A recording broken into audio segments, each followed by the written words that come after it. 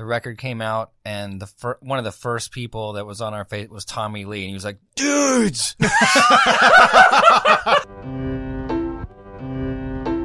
Welcome to Sincast, presented by CinemaSins.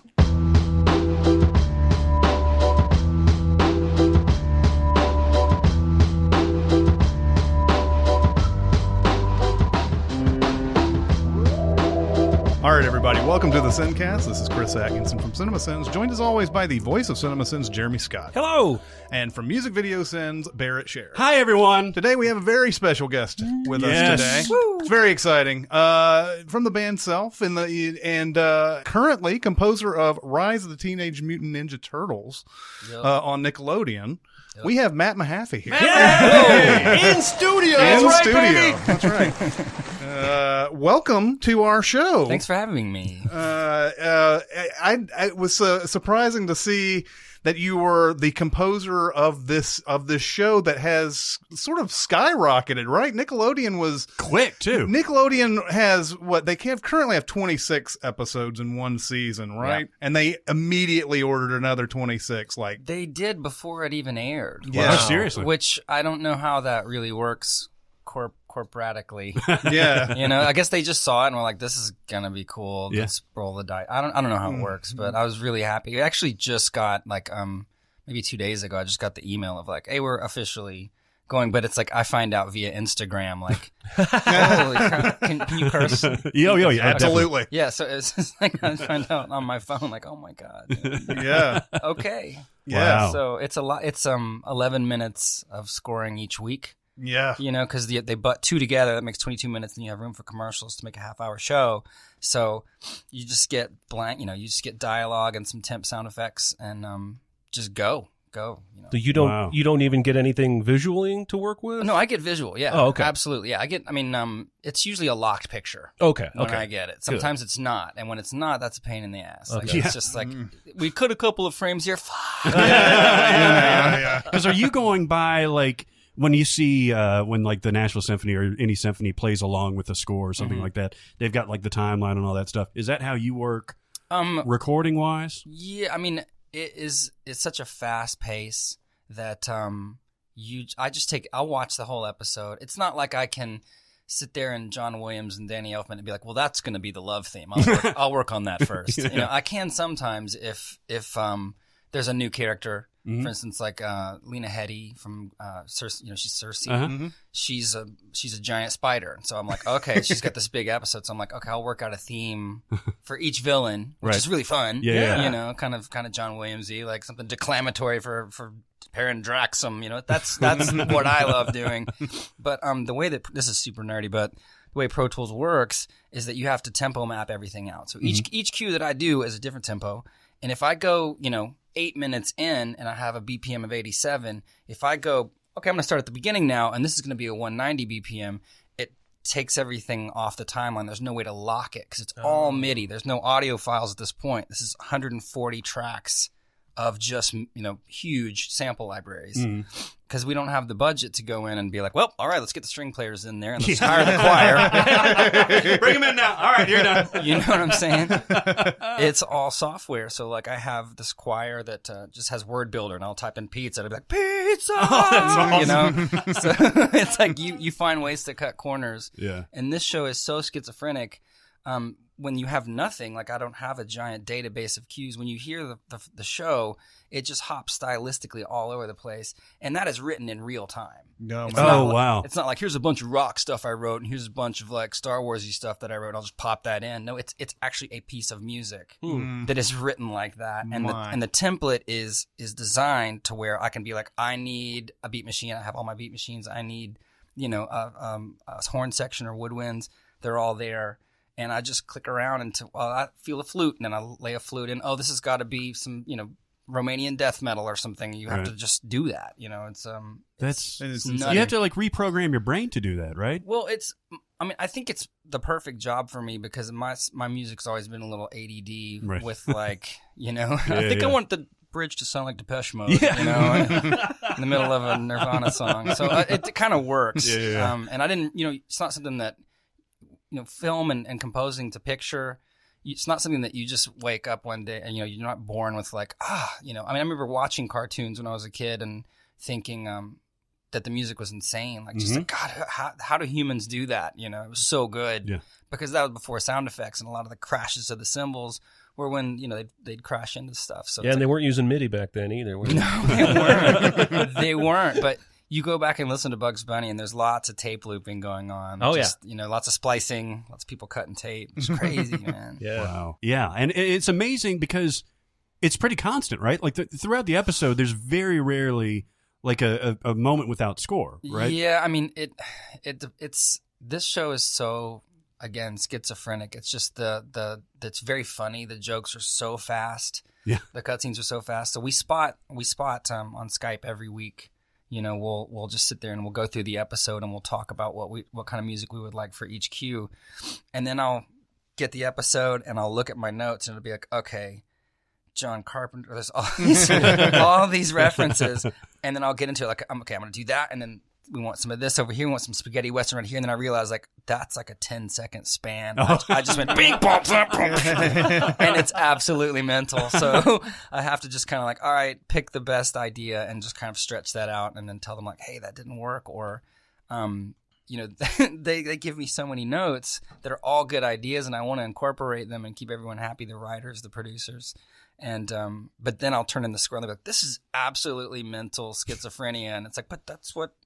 You're using all of our notes. I'm like, yeah, because you told them to me, and I did it. That's uh, that's something I noticed watching uh, an episode of, uh, of of Rise of the Teenage Mutant Ninja Turtles is just like how the range of music that's going on in through the entire episode Mm-hmm. Is exactly what you're talking about because you know it. I mean, they have to pack a lot into 22 minutes. Yeah, yeah. And it's like, you know, oh, they're being funny here. Oh, this is semi serious. Or, Yeah, you know, yeah, that, yeah. you know, and so there's a lot of like, and then there's upbeat action and then there's like, we're back down again and we're, you know. right. I mean, I, it's it, scoring is a process, and it's not. It's just something you have to kind of learn that you are serving the story. You know, it's not about you juggling. It's just about serving the story and. Um, me showing off a bunch of styles is not going to impress any kid that's watching it. It's more about like, did I serve the story? So I'm, I'm about 20, 30, 25 episodes in. And, um, so I'm, I'm learning to just be like, all right, just step back or, or just keep it a little more thematic. So it's not so, doesn't sound like somebody just throwing records at the, Yeah. at the show, you know? Right. Uh, this is amazing. Anybody that hasn't seen the show, it's it's almost it'll remind you of Spider-Man into the Spider-Verse. Mm-hmm. Which Because I haven't seen yet. It, it, it that's an amazing movie. Yeah, I know. We've, I'm that close to watching it. and also after you see that very different movie, but see us, that's a really Oh yeah, movie. no, that's on the list. I, I chose Gentleman Broncos for the tenth time. Oh, you can't go wrong with that. So good. but it's it's a really amazing the way that they they format it is very much like in Spider Verse. It looks like a comic book. It's mm. got like the the wordplay on there, and it is gorgeous. And they've stylized all the different turtles dramatically different than what you've ever seen before. Raphael's this big hulking figure now, and like Donatello's this l- literal like gearhead and everything. It's a really cool show. What was cool to me is because I had seen I've got an an eleven year old son, so I had seen the first couple of episodes. Um, he's in, into turtles, Awesome. but I watched it again and really paid attention to the, the music. Yeah, you need headphones. And that's a weird that's a weird way to watch a cartoon actually. yeah. Because uh, I've actually I, I, saw the symphony a long time ago. They did like a Looney Tunes uh, thing. Wow. And hearing that music without the visual aid is like anxiety inducing. Yeah. like it's like yeah, it's it's nuts. it's nuts. Like you, you get to a point where you're like, I don't even know what time signature this is because there there can't be one. You know, um, it, it's weird because you you do get it's you know I'm doing I think the best work of my life so far on this show, like sonically, like just uh, creatively. But you get buried under sound effects, and the sound effects guy is so good. But I mean, it's like you hear every little squeak of a jacket and every dink of an eye, and I've got like, well, where'd my woodwinds go? You know, it's gonna be, it's like Ben Burtt and you know, Yeah, yeah, yeah, yeah, sound yeah. effects guy just battling it out. John Williams and Ben Burtt like just like fuck you, fuck you. Well, I was I was a big fan of the original. Well, I guess it was the original uh, Saturday morning cartoon Uh, used to watch that all the time, and I don't know if there was some other history involved with that. Either that was the first one or the second iteration. That was the first cartoon. I think it was a comic book before. Well, I know it was a comic book, but Yeah. they're they've had several iterations of, Yeah, yeah. of animated series. And uh, the one that I watched was late '80s Mm-hmm. or whatever. And being a fan of that theme song, but what you guys did with it is amazing. It's Yeah. like it, it's usually you com- you just compare that original to that, and this one's ac- actually way more catchy, I guess, Yeah. catchier. Well, it Uh, was it was uh, a year it took to write that 30 seconds. Wow. because the original one's a minute 30 seconds. So there's all the time in the world to just be like, we're turtle dudes. we're cruising for you. you know, whereas we're like, can you please tell the entire story of the Ninja Turtles in 30 seconds? And we were like, uh, you know, and Mikey, Ralph, all the and then like we turned it in and and they were actually just like uh actually uh Raph's the leader now so we, we don't have any information and Ah. we're like oh okay well that changes everything we'll redo so it was this process of like um just trying to cram it all in and I think we did it and um they were fans of Wired All Wrong so that's Oh, really? it's very Oh, wow. Wired All Wrong yeah, yeah, yeah.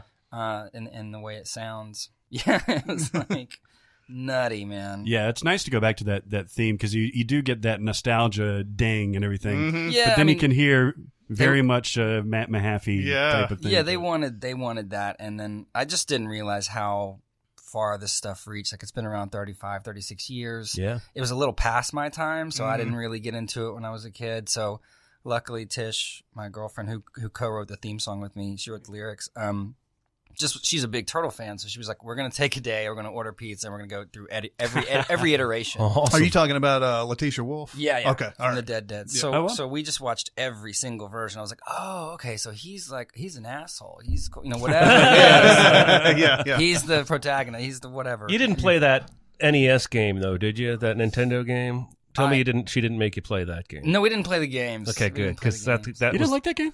Wait. Was it the second one or the Nintendo? Which was the one that had you side scrolling underwater and you kept getting zapped by the electroshock? I'm pretty sure that was the NES one. That was that the one. game can kiss my ass. that was just one level though. The- Yeah. well, No, I don't all, care. All of those games were hard. If you pl- if you played the arcade version of it, that game was just that game was just built to store Constant. quarters. yeah, man. Constantly attacked. Constantly. yeah.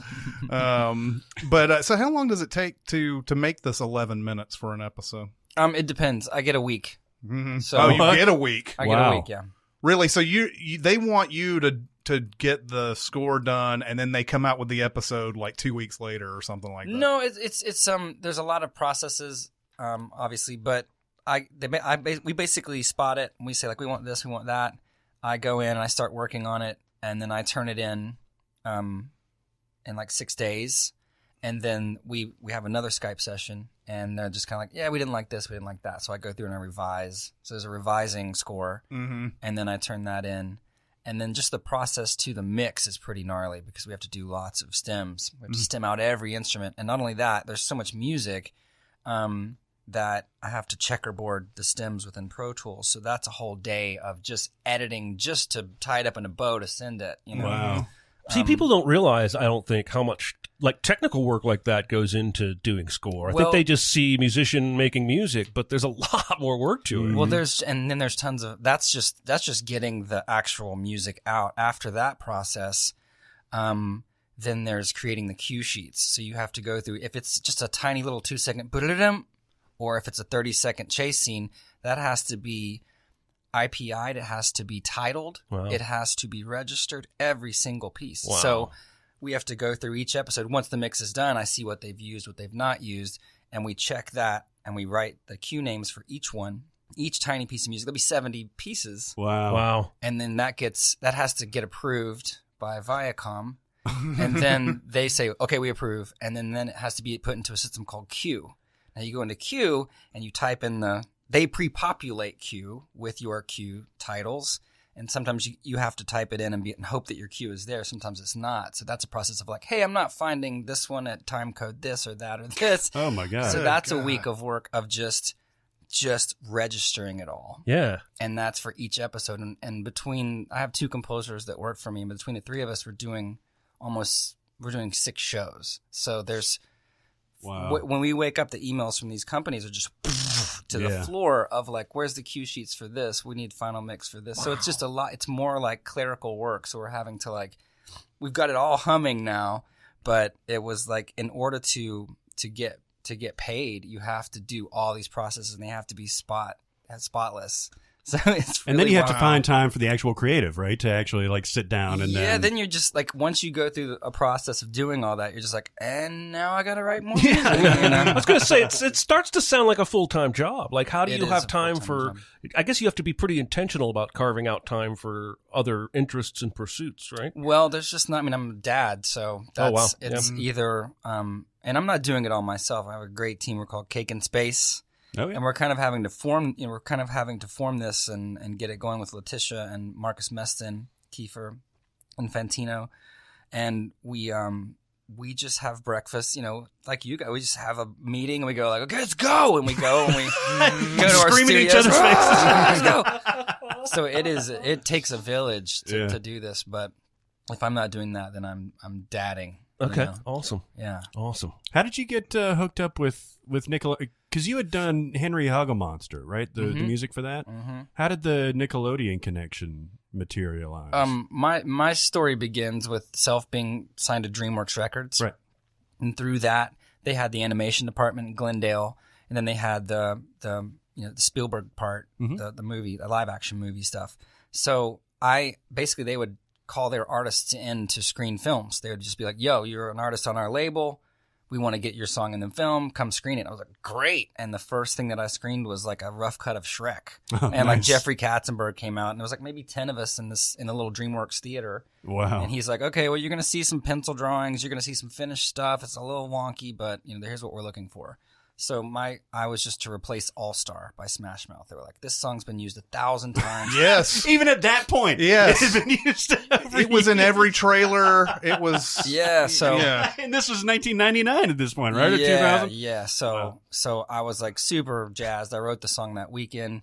Um, This is I, Stay Home. Stay home, Mhm. yeah. So they were they were like, um, we love it. This is great. So I went and worked with uh, Eric Valentine, who actually produced All Star, and um, we spent a weekend. Then I went up to Palo Alto and we set it to picture and all this stuff. And then the last second, um, Jeffrey Katzenberg was like, "Where's the All Star song?" When he when he heard the Of song in course. Of course he was. So it got moved to the end credits. But anyway, like at least working on that film, I met so many people in animation that they were like, "We really like what you do. Would you score some stuff for like a Walmart companion CD or?" And then it got to where I was scoring like the bonus footage for the Shrek movies as they kept coming out because it was so popular. And then, um, you know, I recreated the Thriller video. I did the, you know, Far Far Away Idol, spoofing American Idol, all these things, and met people that did episodic stuff for Disney and Nickelodeon. So doing that, they were like, "Would you ever do episodic television?" And I was not really into it at the time because I was trying to be an artist.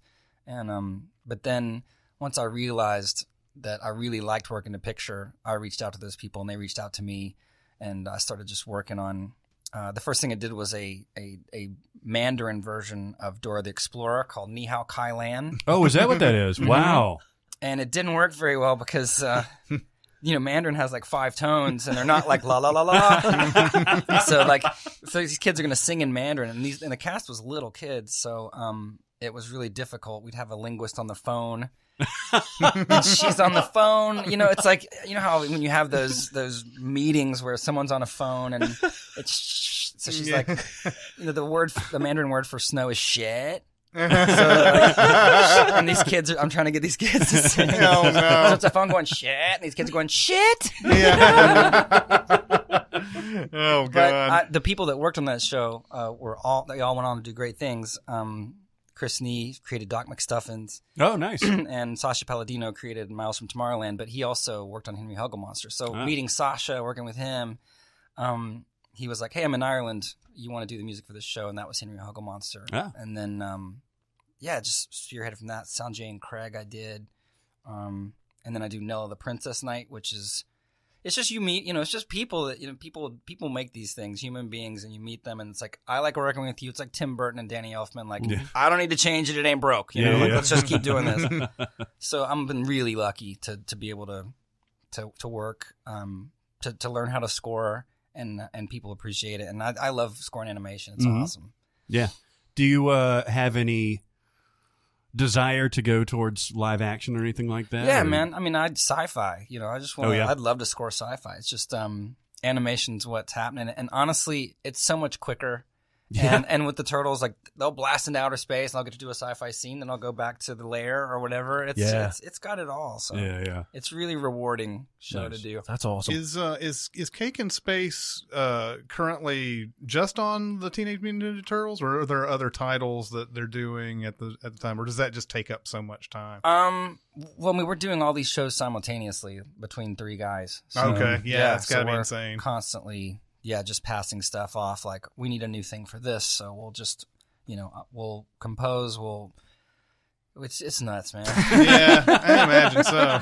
it's nuts, but we're we're all oh, we're doing Transformers rescue bots too. which Oh, is yeah? like, yeah, Transformers for kids. Oh, really? Yeah. No, uh, yeah. Rescue Bots was uh, was my kid's jam. Back Yeah, we're doing the whole. We're doing like a, the new season right now. That's oh, awesome. I'm gonna blow his fucking mind when I get back home. I've already blown his mind because uh, we were watching it last night, and uh, it, your your name came up at the uh, at the end, and I was like, "Hey, I'm gonna talk to that guy tomorrow." He was Right. like, "What?" Like, "That's right." I had I had a I had a weird IMDb experience with that because it said uh, Matt Mahaffey three episodes. I was like, no, come on, that's not right. No, they just started airing. yeah, yeah, and uh, and it, and it's I think it's either that it's just because either they don't I don't know if they credit every episode or if it's just I They don't know. IMDb's kind of whack, and like anytime I go on there, it's like somebody somebody's written my bio on there, like he likes Run DMC. well, yeah, I, Anybody I can edit Yeah, that. We we know for a fact that he likes. yeah, that's No. that's that's the, the thing that defines you. Is what, Yes. It's just wherever they pull like you know your bio from, it's clearly from someone that barely knows what my bio is. Well, Stay Home was a big moment for uh, Self, right? Um, yeah, because it was it was funny. Like I think I just moved to LA, and that was the first time I'd written for a film, and uh, it was the only original song written for the film. So they had to say like. Please, you know, consider this for the Oscars, and I was like, "I'm, wal- I'm waltzing into the Oscars. I'm up against Paul McCartney, and I was like, "No, you're not gonna go anywhere near that." I love that song though because that was my introduction to self. Was that oh, song? that's so weird. That's so I'm sorry. Well, it's it's true. I got the soundtrack because this was when I was working at Hollywood 27, and I Uh-huh. got the soundtrack as just a studio had sent a few of them as promotional things. Yeah, yeah, yeah. And I'm listening to it. That was the song that grabbed me the most, and then I started exploring the rest of your Wow, catalog. man. Well, I that way. appreciate that. And I didn't listen to any of that Smash Mouth, Smash Mouth bullshit. Moth. yeah. That those guys, I actually played keyboards on a on a Smash Mouth record, and um, it was it was really fun. Greg Camp, the guy who writes all the music, is really really brilliant dude. But um, the record came out and they'd misspelled my name, so it's not in any of my my um. Oh, wow. It was like Matt Mahane. And Matt Mahane. It's like I'm I'm used to it, man. You should see my mail. It's like McCafferty. you know. Mc- you you uh you also toured with Beck, didn't you? yeah, Yeah. Oh, that must have been awesome. that was awesome. That was really cool. Does he have? Can you talk to that guy? Like he's. I get the feeling that he's probably a lot more normalish in person to person conversation than his persona or his aura would suggest. Because he kind of has this reputation of being like a really weird dude. Mm. Um, Especially back in the day. Well, he, Yeah. I mean, he put out an album a couple of years ago that was all sheet music. um, Yeah. But I imagine I've always had this feeling like you can kind of have a regular conversation with the dude. Yeah, yeah, yeah. Yeah. Yeah, and he's like he's one of those he can play a lot of different instruments too, right? Yeah, he's he's uh, he's he's just really um I don't know, he's like a Spielbergian and and that's a terrible I know that that's not a good um analogy, but the fact that someone can just like wrangle things, you know. Yeah. Um Different genres and instrumentation and, and things just like that. on the fly, off the cuff, like I want to do this right now, and I think this is smart. Like I'm a drummer, so we would be. I mean, Jesus, there was a session we did it for the morning phase record Oh wow. at Blackbird, and you don't know what's going to happen. So like, I came in, and then Jack White came in, and then Steve Malkmus from Pavement came in. Oh wow. and back. this is like million dollar quartet. Yeah. It's it. It was one of those moments, dude, where it felt like you know that like uh, the, that that picture of like uh, all the old famous Western guys at the bar, like, and Elvis is there, and they're all hanging out. I was just like, I'm in that picture. That's amazing. But I'm playing like instead of playing drums or something that I'm comfortable with, um, I'm playing like this weird jazz organ that I got for 200 bucks at a pawn shop in Camden. You know, so it's and so if any anytime I was like playing an instrument, he'd be like, "Go play the mandolin." You know, like he really doesn't want it to sound studio musician-y because if we're all in our comfort zones, it's going to sound like this really smooth thing. So he was really into shaking that up, and I always appreciated that and just crazy things of like whimsical things of like, wouldn't it be funny if you guys like had like dinner while I was doing the acoustic bit, bit in the middle? And we were like, that'd be hilarious. and then we it, it ended up. We, we just started jamming along and tinkering because we were kind of bored eating salad like in front of 20,000 people in France. like, and, and so we started miking up things and putting PZM mics on it. And then it became a jam session. And then we um, played, we're playing Saturday Night Live. And uh, it was from a previous record cycle. And you're always supposed to promote your new stuff. So uh, Beck was like, I want to do the dinner table thing. And they're like, well, that's not your new song. So uh, Lorne needs to see it. So we auditioned for Lorne Oh, really? on a screen. He was, you know, in a space pod somewhere. and he was like, that is awesome. So we, we did that. oh my god, that's awesome. You So got yeah, he's fast. super, super cool guy, man. Really just Awesome. really smart. It's interesting to to hear you say that you're. So you identify as a drummer or self-identify as a drummer first and foremost, but you play everything, right? Um, yeah, I guess I'm a polyamorous musician. or, I've, uh, I mean, I've, I've seen self. You know, back in the day, um, I think the most recent one was maybe the 2005 concert at Exodus. right. We redid. Um, uh, yeah, we did a whole record. And you know, I'm always used to you being the front man, either at the synth or the keyboards Yeah, or the yeah. guitars or whatever. Uh, rhythm. I mean, just rhythm for yeah, yeah. me. Like drums are the only thing I can really jam on. Mhm. I don't read music, so um, it's not like it's the only thing that I could have a beer and like have fun playing. Oh yeah, Um, because I, I can learn. It's music is like typing to me. It's like memorization. Mhm. So if you like change it up half a step, I'm like I'm lost. I have no idea where, where I am. So I have to really everything I do these days is from the keyboard. So I've become a much better piano player. I've played piano my whole life, but it's never been like I've never learned how to play it. You Yeah. know? Well, that's interesting because piano is all throughout all the early self stuff. Yeah. you know. But I mean, everything stems from my key. I mean, mm, I'm the best like keyboard drummer now. you Oh, yeah. yeah, absolutely. Sounds like I'm killing it. you know? I'll tell you what, I, amazing. I have tried in my amateurness once or twice to do keyboard drums because I have a really nice keyboard that is better than my talents. It's not easy to do keyboard drums, I'm telling you. So That would screw me. You're up. good at it. I'll, I'll, show, I'll show you some. I'm impressed. Yeah. finger rhythm, it's not it's not as easy as you, never mind. It's like that. it's that kind of. It's that kind of party now. That's what she said. not yeah, exactly. Um, can I ask you about Wired All Wrong? Real quick? Mm, of course. So this was uh 2006 or so Mm-hmm. that it came out. So uh, you and Jeff Turzo from God Lives Underwater Mm-hmm. released this album called Break Out the Battle Tapes. Yep. Uh, which I bought at the Tower Records down on uh, on West End when it was Oh. still. God rest its soul. God rest its soul. God rest Literally, as soon as I found out, um, yeah, it was after the you, you guys had gone with DreamWorks and everything, Right. and uh, and I was he said, oh well, Wired All Wrong is coming out. And I was like, oh okay, I'll check that out, and I was I was blown away. The funny thing about it was I got an edited copy with Oh, all the, curse words. Curse words cut out. Yeah. Like I'm, I'm, I met Jeff years ago, and we'd been friends, and he was always tinkering with Wired All Wrong, and um, would never let me hear anything. I don't, I don't think he was hiding it from me, but he was just kind of like, ah, it's not ready to be heard yet. And he was the initial idea for it was.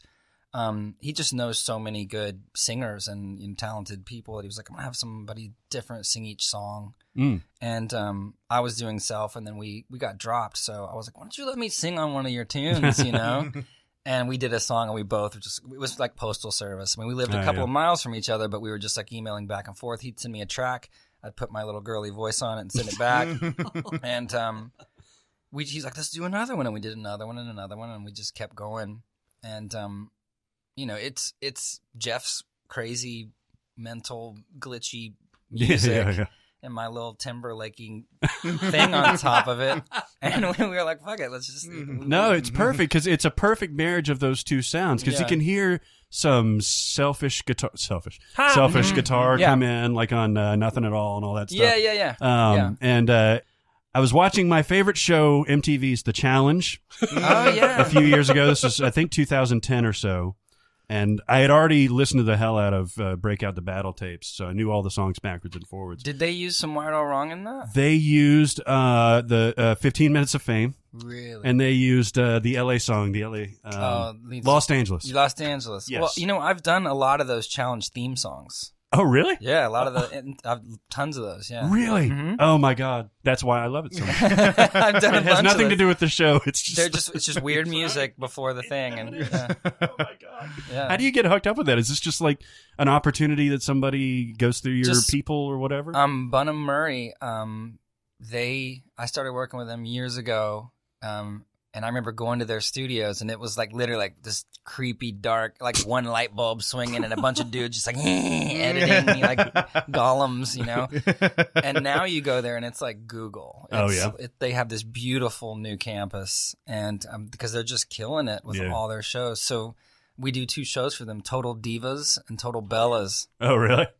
Hmm You've likely seen promos for this, right? no, I haven't actually. It follows the women of the WWE around oh yeah. Oh, yeah. reality show. So they're either like, I don't know, he's just. I mean, I think red drapes are cool, or or they're in Japan beating the shit out of each other in front of ten thousand Japanese wrestling fans. Oh, that really- sounds And you're doing the music for this. yeah, we do. Um, but that's you don't have to do that to picture. It's more. Right. Uh, it's more like um, we need hundred minutes of music. So we need, and each each each piece is about a minute long. So we need like these types of beats. We need some emotional stuff. We need some comedy stuff. So we go through and just put all that together.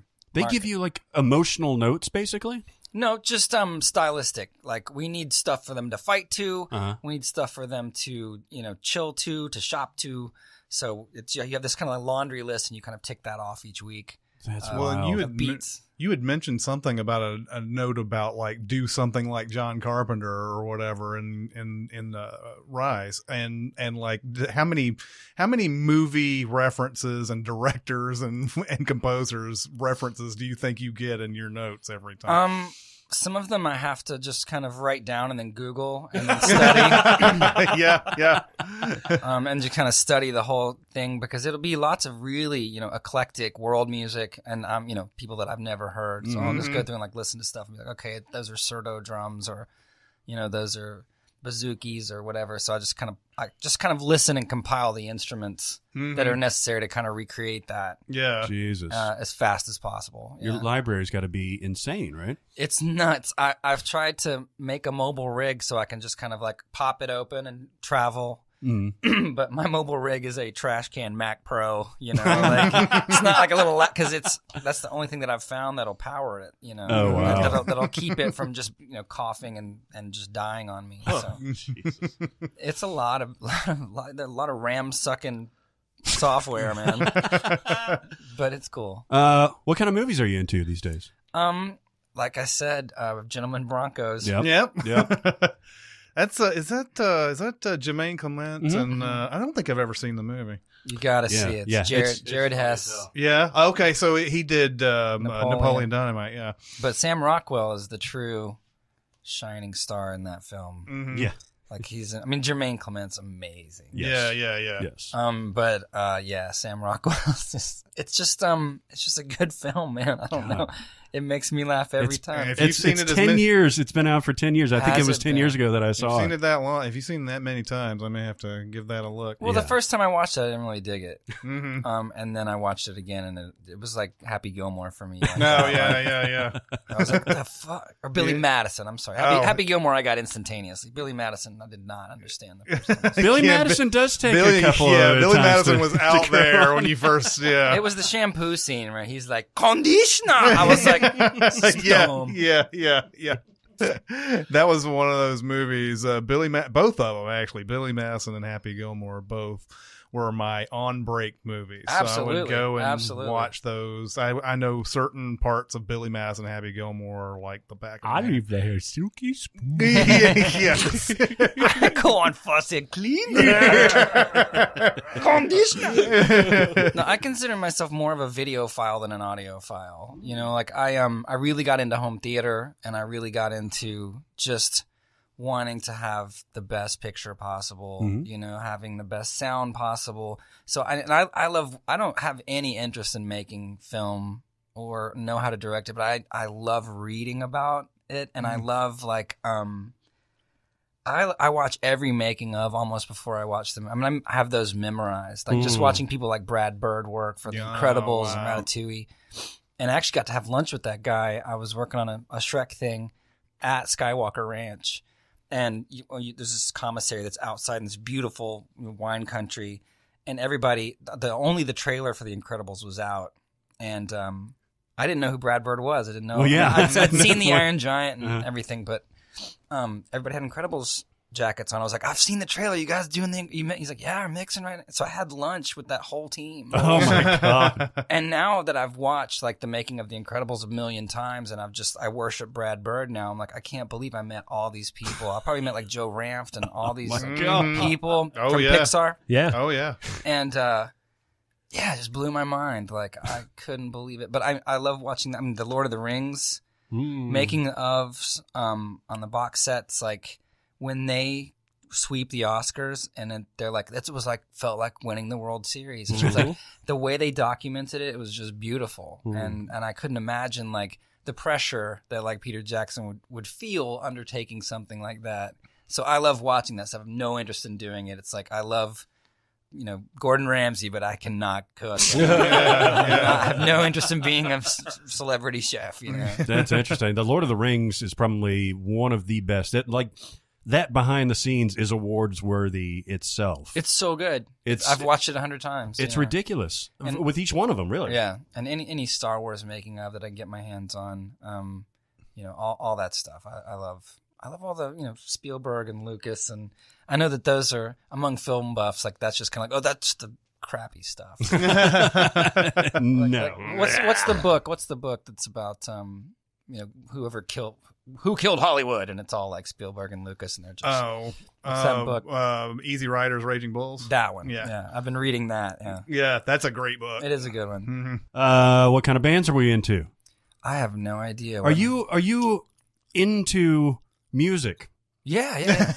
I, I, I say that for a reason because there, like Jeremy has said, Jeremy's uh, published a book and will publish more. Oh. Um, and he's he said that he is not a reading author. Like you Mm-mm. don't read a whole lot. Mm-mm. And I can imagine that there are a lot of some musicians, at least, that aren't like plugged into the current zeitgeist or that kind of thing. That that don't really listen to contemporary music or or have kind of like figured out what what they like and, and I kind of think stick to that's probably me. You Really? know, I hmm. know, I know what I like, and I don't.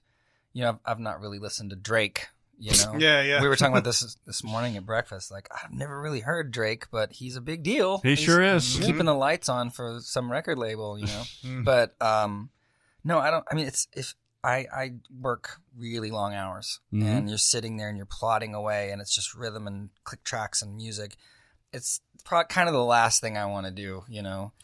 Yeah, it's interesting. Like, It's a, like, like- you said, a chef that doesn't want to go home and like cook a meal for themselves, right? Right. it's like I've just made music all day. Now I'm gonna go out and pay fifteen bucks and watch my friend dick around on guitar. That sounds great. I just assumed that, like you and Jack White and Ben Folds were like the the stonecutters of music, and you have like monthly meetings somewhere in a basement in Nashville, Yep. plan like where music's gonna go. where, where it's going to go. Yeah.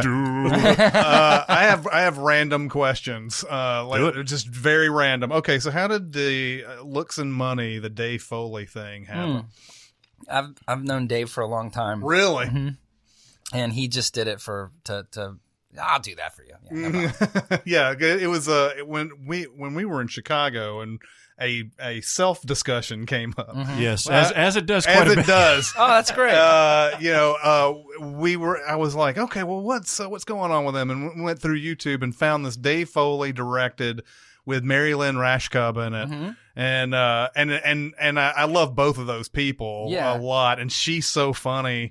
And everything. It's just a goofy. I mean, everything about it is so goofy and fun and lively. And They you know, they they all donated their time. Um, my manager hooked up Mary Lynn with it, and um, because Mary Lynn had done an online thing called Dicky, Mm-hmm. and um, she had used that song in that, and so my manager went to her and said like, "Hey, we're gonna make a music video for this. Would you be in it?" She was like, "Totally." So she donated her time. Dave donated his time. Matt Messer from El Camino Media donated his house to film in. Nice. But yeah, everybody donated their time, and it was just like, "Thank you so much." It was such a cool, cool thing. Awesome. It Really, really That nice. was interesting. How many self or Wired All Wrong music videos have you made? I don't know. Um, The first, my first exposure, my first exposure to self was obviously Cannon mhm. when they were playing it on the local radio. Uh, 1995, it must have been. I was in a Yeah. driver class. I was in uh, driver's ed, oh wow, and it came on the radio, and I was like, "Wow, Yeah, this that- is really fucking good." Yeah. And then uh, I think Chris and I both saw So Low Yeah. on 120 Minutes. Yes. And that was my first video exposure to Oh, you okay. guys. Yeah, I, I I had this sense of pride about that because I had- I, I knew You that made us proud. I knew well, I knew you guys were from Tennessee and it, and it's and and back in the 90s, I mean, yeah, you had country music artists and you might have a random person here and there that you didn't know about, but in Nashville. yeah, in Yeah, Nashville. yeah, yeah. Uh but uh but that, you know, that that to see somebody locally on MTV was a big deal Mhm. for me. It like it's sort of like a, you know, hey, there's possibilities after all, you know. Right. you know, kind You of a- can do it! Yeah, exactly. and uh, and I was going to MTSU during Yeah. that whole period of time where you guys were just like really blowing up there and everything, and it was like I got swept up in all that. That was pretty cool. Mhm. No, it was it was great. Um, the thing we were very proud to to ha- have a video on MTV, and so I threw a party. And um, I think it was the So Low. Actually, Cannon was the first one. It was directed by Jesse Peretz, who did Oh, the, yeah. the Big Me video, and he now, he Oh, now yeah. I see his name on all kinds of shows. Oh, yeah. He's uh, I think the uh, Sh- Skrill Shrill. Oh, really? Okay. Is that with uh, Aidy Bryant? Aidy Bryant. He's Wow. directing that. Wow. Mhm. So he's he's doing it. But um yeah, we did the Cannon video and we really liked working with him, so we went to New York and did the So Low video. And when that premiered, we like I threw a party, I had my friends. I was living in the borough Mhm. and uh, we're like, all right, here it comes. And Matt Pinfield was like, all right, here's this. and and it said God lives underwater. Oh no! Oh no! And then in oh. their video said self. Oh, oh shit. wow! And that's how Jeff and I initially met. was- Oh, my God. That's hilarious. we bonded over just being like, yeah, man, we, yeah, we, yeah, we threw a party too, yeah. you know? Oh, God. That's the oh no! So if you liked my song, you bought his record. Yeah, they're like, where, where? Where's that song that I heard? Must be on some like B side or something. Oh, But uh, yeah, no, I was wondering, like, did you guys intentionally, or maybe I've just missed them? Did you make a, a, several music videos that that we haven't seen very often, or did you stay away from that? No, we just didn't make a lot. Um, we did one for Trunk Full of Amps. Uh, we did one for um, I did an EP a couple years ago uh, for a song called Runaway. Yeah, yeah. and um, the guy who did that now works for uh, Colbert doing all Oh, his wow. Oh shorts. yeah. But he killed it. Like he was just like I got. He had all these concept, and one was with cats, and uh, so he he wrangled that whole thing himself. He's a genius. Wow. That- He's a Tennessee boy too, so that was really That runaway video is awesome. Yeah. I love it. Uh, Yeah. I love that song. Uh, I mean, you just mentioned two the songs that I love self the most from is "Runaway" Oh, and thanks. "Trunk Full of Amps." I love that. man. I love those songs. The that "Trunk Full of," I heard that you you guys basically just kind of came up with that live, and then we did at least uh, yeah because there's there's three songs we wrote in a day. So we wrote "Trunk Full of Amps," "Ordinaire," and "I Love to Love Your Love, My Love" in one sitting. yeah, Really? Wow. because we were making breakfast with girls during the week uh, at the Bennett House and at Ocean Way, and so our weekend thing was like I want I would always wanted to do a toy instrument album, so we would just just tw- you know kind of tweak on that on the weekends. So we would just sit down with our little things and just dink around, and I would record the whole thing, Mhm. and then just comb through those recordings and find the good bits.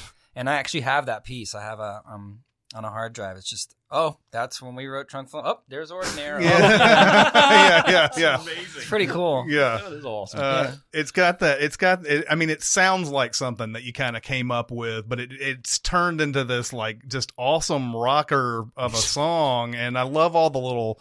The little, you know, elements you throw in there, like E L O, and you Right, know, yeah. mama, you Yeah. know, and and and, and uh, Yeah, just the- all those little things in there are Glenn are great. I love it. Yeah, that's the one. That's the song most people know. It's like, oh, Mhm. you did, tr- you did trunk full of amps. Oh, Yeah. Well, speaking of, we, we have to ask you about Gizmodgery because that It's it's unlike anything that I've ever heard. This is where Oh, you nice. created an entire album using toy instruments. Mhm. But the issue is, so if you go out and you and you buy it now, which you should, um, it won't sound like it's made on toy instruments, though. Right. It's amazing because I knew that going into it. But if you listen to something like the "What a Fool Believes" cover or something Mhm. like that, without knowing that, it would sound just like you're using regular instruments. Right, right. Wh- What the hell, man? Like, where did that come from? Why are you lying? why, why are you the way that you are? no, um, the only toy um, band that I had heard was a band called Pianosaurus, and it was kind of that. It was kind of that violent, flimsy, Uh-huh. collegiate, just like a toy piano, a toy bass, and toy drum kit. And it was just like kind of dinky, bing, bing, bing, bing, bing, bing, bing, bing. But they had these like little collegey songs. It was a good band. Um, this record had come out, um, released by the company Roland, um, because they just released this box called the Groove Box. Oh, yeah. They made a CD called At Home with the Groove Box. Yeah, yeah. And it was artists like Buffalo Daughter, Beck. Like basically, they gave them the, the beatbox. Like every sound has to emanate from this thing, except the vocals. You can do the vocals however you want. And I remember thinking like, that's pretty cool. And Roger Manning had just done the Moog Cookbook, where he was covering like Nirvana songs with really funny sounding Moogs.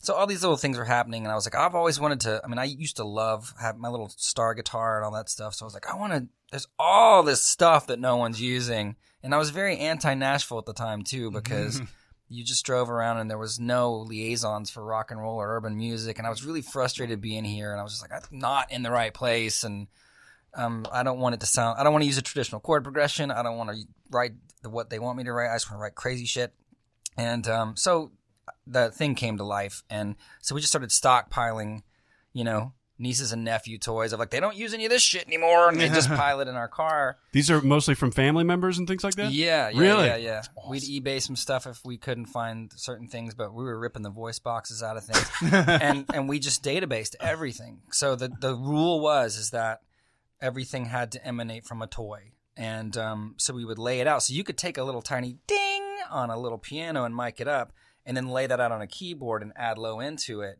and make a bass out of it. Oh, Oh, my wow. God. So it's like that little toy can't do that, but it is from yeah, yeah, yeah, yeah, yeah, yeah. You've converted it to, yeah. yeah, Well, it's and still legit. if know? you if you did play it with toy instruments and you had every single solitary note had to be out of a out of a toy instrument, Mhm. it would gotta- sound silly. It would be a Jimmy Fallon sketch. yeah, it would be. right. Yeah, I mean, you sample a key of a Schoenhut piano, which is you know the the toy piano, and then you pitch that down over an 88 key sampler. Down here, it sounds awesome and gnarly. Yeah. So that, that's what I would use. So I would use that bit of what was normally dinky. So that's why it ended up sounding like that. Doesn't sound like toys, but it's just been seasoned and brewed and It's like in Hunt for Red October when they record the Caterpillar drive of the Russian mm, sub, mm-hmm. and then he speeds it up so that he can hear it Oh. going. Tung, tung, and he's like, mm-hmm. "That's got to be mechanical." Yeah, yeah, yeah that's a bad car. yeah, yeah. I watched a video. I, I I've just been recently just to kind of unplug at night watching like outraged people compilations. On Oh, those are fun. There's this one. Here's what made me think of this: is this guy is like the the tree's in a giant old Ford truck and he's got the hood up and the guy is standing right here. Being filmed like over by this guy's leg. And it's like, so the guy they can't see each other. So he's starting the thing, and this guy's got a wrench. He's just going con con con con con con on the front bumper. Like every time he tries to start it, it's like that is ruthless. I got to start watching these Oh, things. my God. Before I go to bed. it's amazing. Yeah, I don't know. It's what it's what I use to kind of just decompress. but one last thing about Gizmodgery, you I found um, the the tiny drums that like when you record them and you compress them, that they actually sound louder and bigger than a giant drum. Really? Mm-hmm. Interesting. Oh, my God. Yeah, because they're just so bink, they're so tight Huh. that like that's why the drums sounded really good. We were like, wow, these actually record really well. They really do. They sound they sound at times like huge, like you're saying. Yeah. Because you must have gone through like a million permutations to get to, you know, the register that you really wanted for each of, you know, each each individual drum, snare, and bass, and all that stuff too. It was it was nuts, man. I would never do it again. but it's worth it. You know, we're all young. We're you know, you do stuff like that. yeah, man, it was nuts. It's interesting. Uh, Dead Man is on this this album, and that is if somebody asks me to encapsulate like self in a Uh-huh. song, that's what I point them to Oh, interesting. because it's so it's it's very poppy, it's very straightforward, it's very quirky Yeah. lyrically and, and musically, and it's just like you know this is this is self in a nutshell right here. Awesome. Even though which is which is insane because you've got such a crazy range of, Yeah. of things, but yeah, it's uh I think it's my happy place. I think it's that's why it's best to just confine me to being underneath other things, just because it's like it's so hard to like throw in everything with it because I I just can't distill down of like I'm a I'm a jazz singer. That's what I do. it's crazy know? because you mix all those elements in there. Like you said, like you, you'll throw in a bridge, you know, Depeche Mode or like a jazz bridge or something like Mm-hmm. Yeah. that. Back in Subliminal Plastic Motives, like, you know, I'm telling you stuff that you already know, but, um, but Remember th- that was time? just, remember that time that you did that. But that's what always like really impressed me about your songwriting and the execution of it is that it doesn't go in a linear path necessarily. Right. And that's, that's kind of what I dig about the, uh, the score for the, the Teenage Mutant Ninja Turtles show is that it'll go in different directions. I heard I was watching the uh, uh, the one with the uh, almost Coco type of villain, the uh, the Bones Oh, yeah. versus the Flesh guy, Bone Man. and uh, he had a great theme. And then you know you'd hear like harpsichord in there for a little bit, and then it would go to like this flamenco type of thing. Yeah. And uh, so so that's that's very cool, and it's it's really made me pay attention more to to score when it comes to you know animated work in particular because you do just get caught up especially Yeah. as crazy as those visuals are and there's a lot of um, there's a lot of guys that I really respect um, that do score for cartoons. Um, it is a ton of work. I mean, I go to my daughter's school and they have like these mixers, and the parents are like, "So what do you do?" And I'm like, "Well, I score music for cartoons." I didn't even realize that they had music in them. well, they do, and it's a lot. And uh, if you if you watch it without it, it's not very. Yeah, I can imagine. it's it's it's everything. It really really is important, and I I just am so thankful that it's still an organic process of like we need someone to do this. It Yeah. has to be written for this, as opposed to librarying it out, which happens a lot of times too. Really? You know? Yeah, definitely. How does that even work? Just like you know, compressed can twenty two minutes or twelve minutes of of score. just for certain shows, if it's not, if it doesn't need dramatic kind of underscore to emote, Mhm. like um a show that I did Sanjay and Craig, um like you know burping, fart jokes, you Mm. know, uh, we need punk rock for when they're in the arcade, and we'd like you know something in this vein. So I would do that and be like, nah, it's kind of need maybe a little more in this vein. Okay, do that. But they have like these libraries of like you know jingle punks, these types of companies Oh, I see. that um they just there's tw- you're like "Oh, 20 punk rock things we can oh that one works you throw it Oh, in okay. just like Yeah, I got you. like iMovie type just I'm, I'm glad that they don't, but why don't they? I wonder. why don't they do that all the time Yeah, um I guess it's just a quality. Um, people yeah look look that's what I Choice, that's what I'm thankful for is that people Yeah, yeah. actually care about artisanal that's right. That's the thing, right? That's Or- the, organic. the music. choice is made between art or cost Yeah, yeah. there, and Yeah. and if they choose the library stuff, they doesn't necessarily mean they don't value art, but in this case, they seem to value art. More. It just depends on if someone cares about what music is in the show because you'll hear. Uh, we watch a lot of cartoons in my house, obviously, and I, my my children are young, so we watch a lot of those, and I'll hear the same cue in two different shows, and it's Yeah. just kind of like, all right, Oh, you can pick that out. Yeah, yeah, yeah. oh, wow. Yeah. yeah. Are they impressed, by the way, with with? Um, they don't really. I mean, they they're like uh, the Ninja Turtles. Uh, so I saw them the other day. when Anna was younger, it was kind of cool. Um, when I was doing Henry Huggle Monster, um, I would record the cast for the songs, and they were in L.A., so I would do it via just audio Skype. So whenever we were recording, Anna would. She was like five, six. She would come into the studio, and I'd be like, "Hey, Anna's in here," and so Lara Jill Miller who was on uh, that Nell Carter show when she was a kid. She was a kid actor. Oh, She's uh, on different, not different Facts of. Life? She's on. Nah. What was no? Um, it was She's the she was the voice for Henry. She does tons of cartoon voices and she's really good. But she would always be a champ. Give me a break. Give me a break. Yes. Give me a break.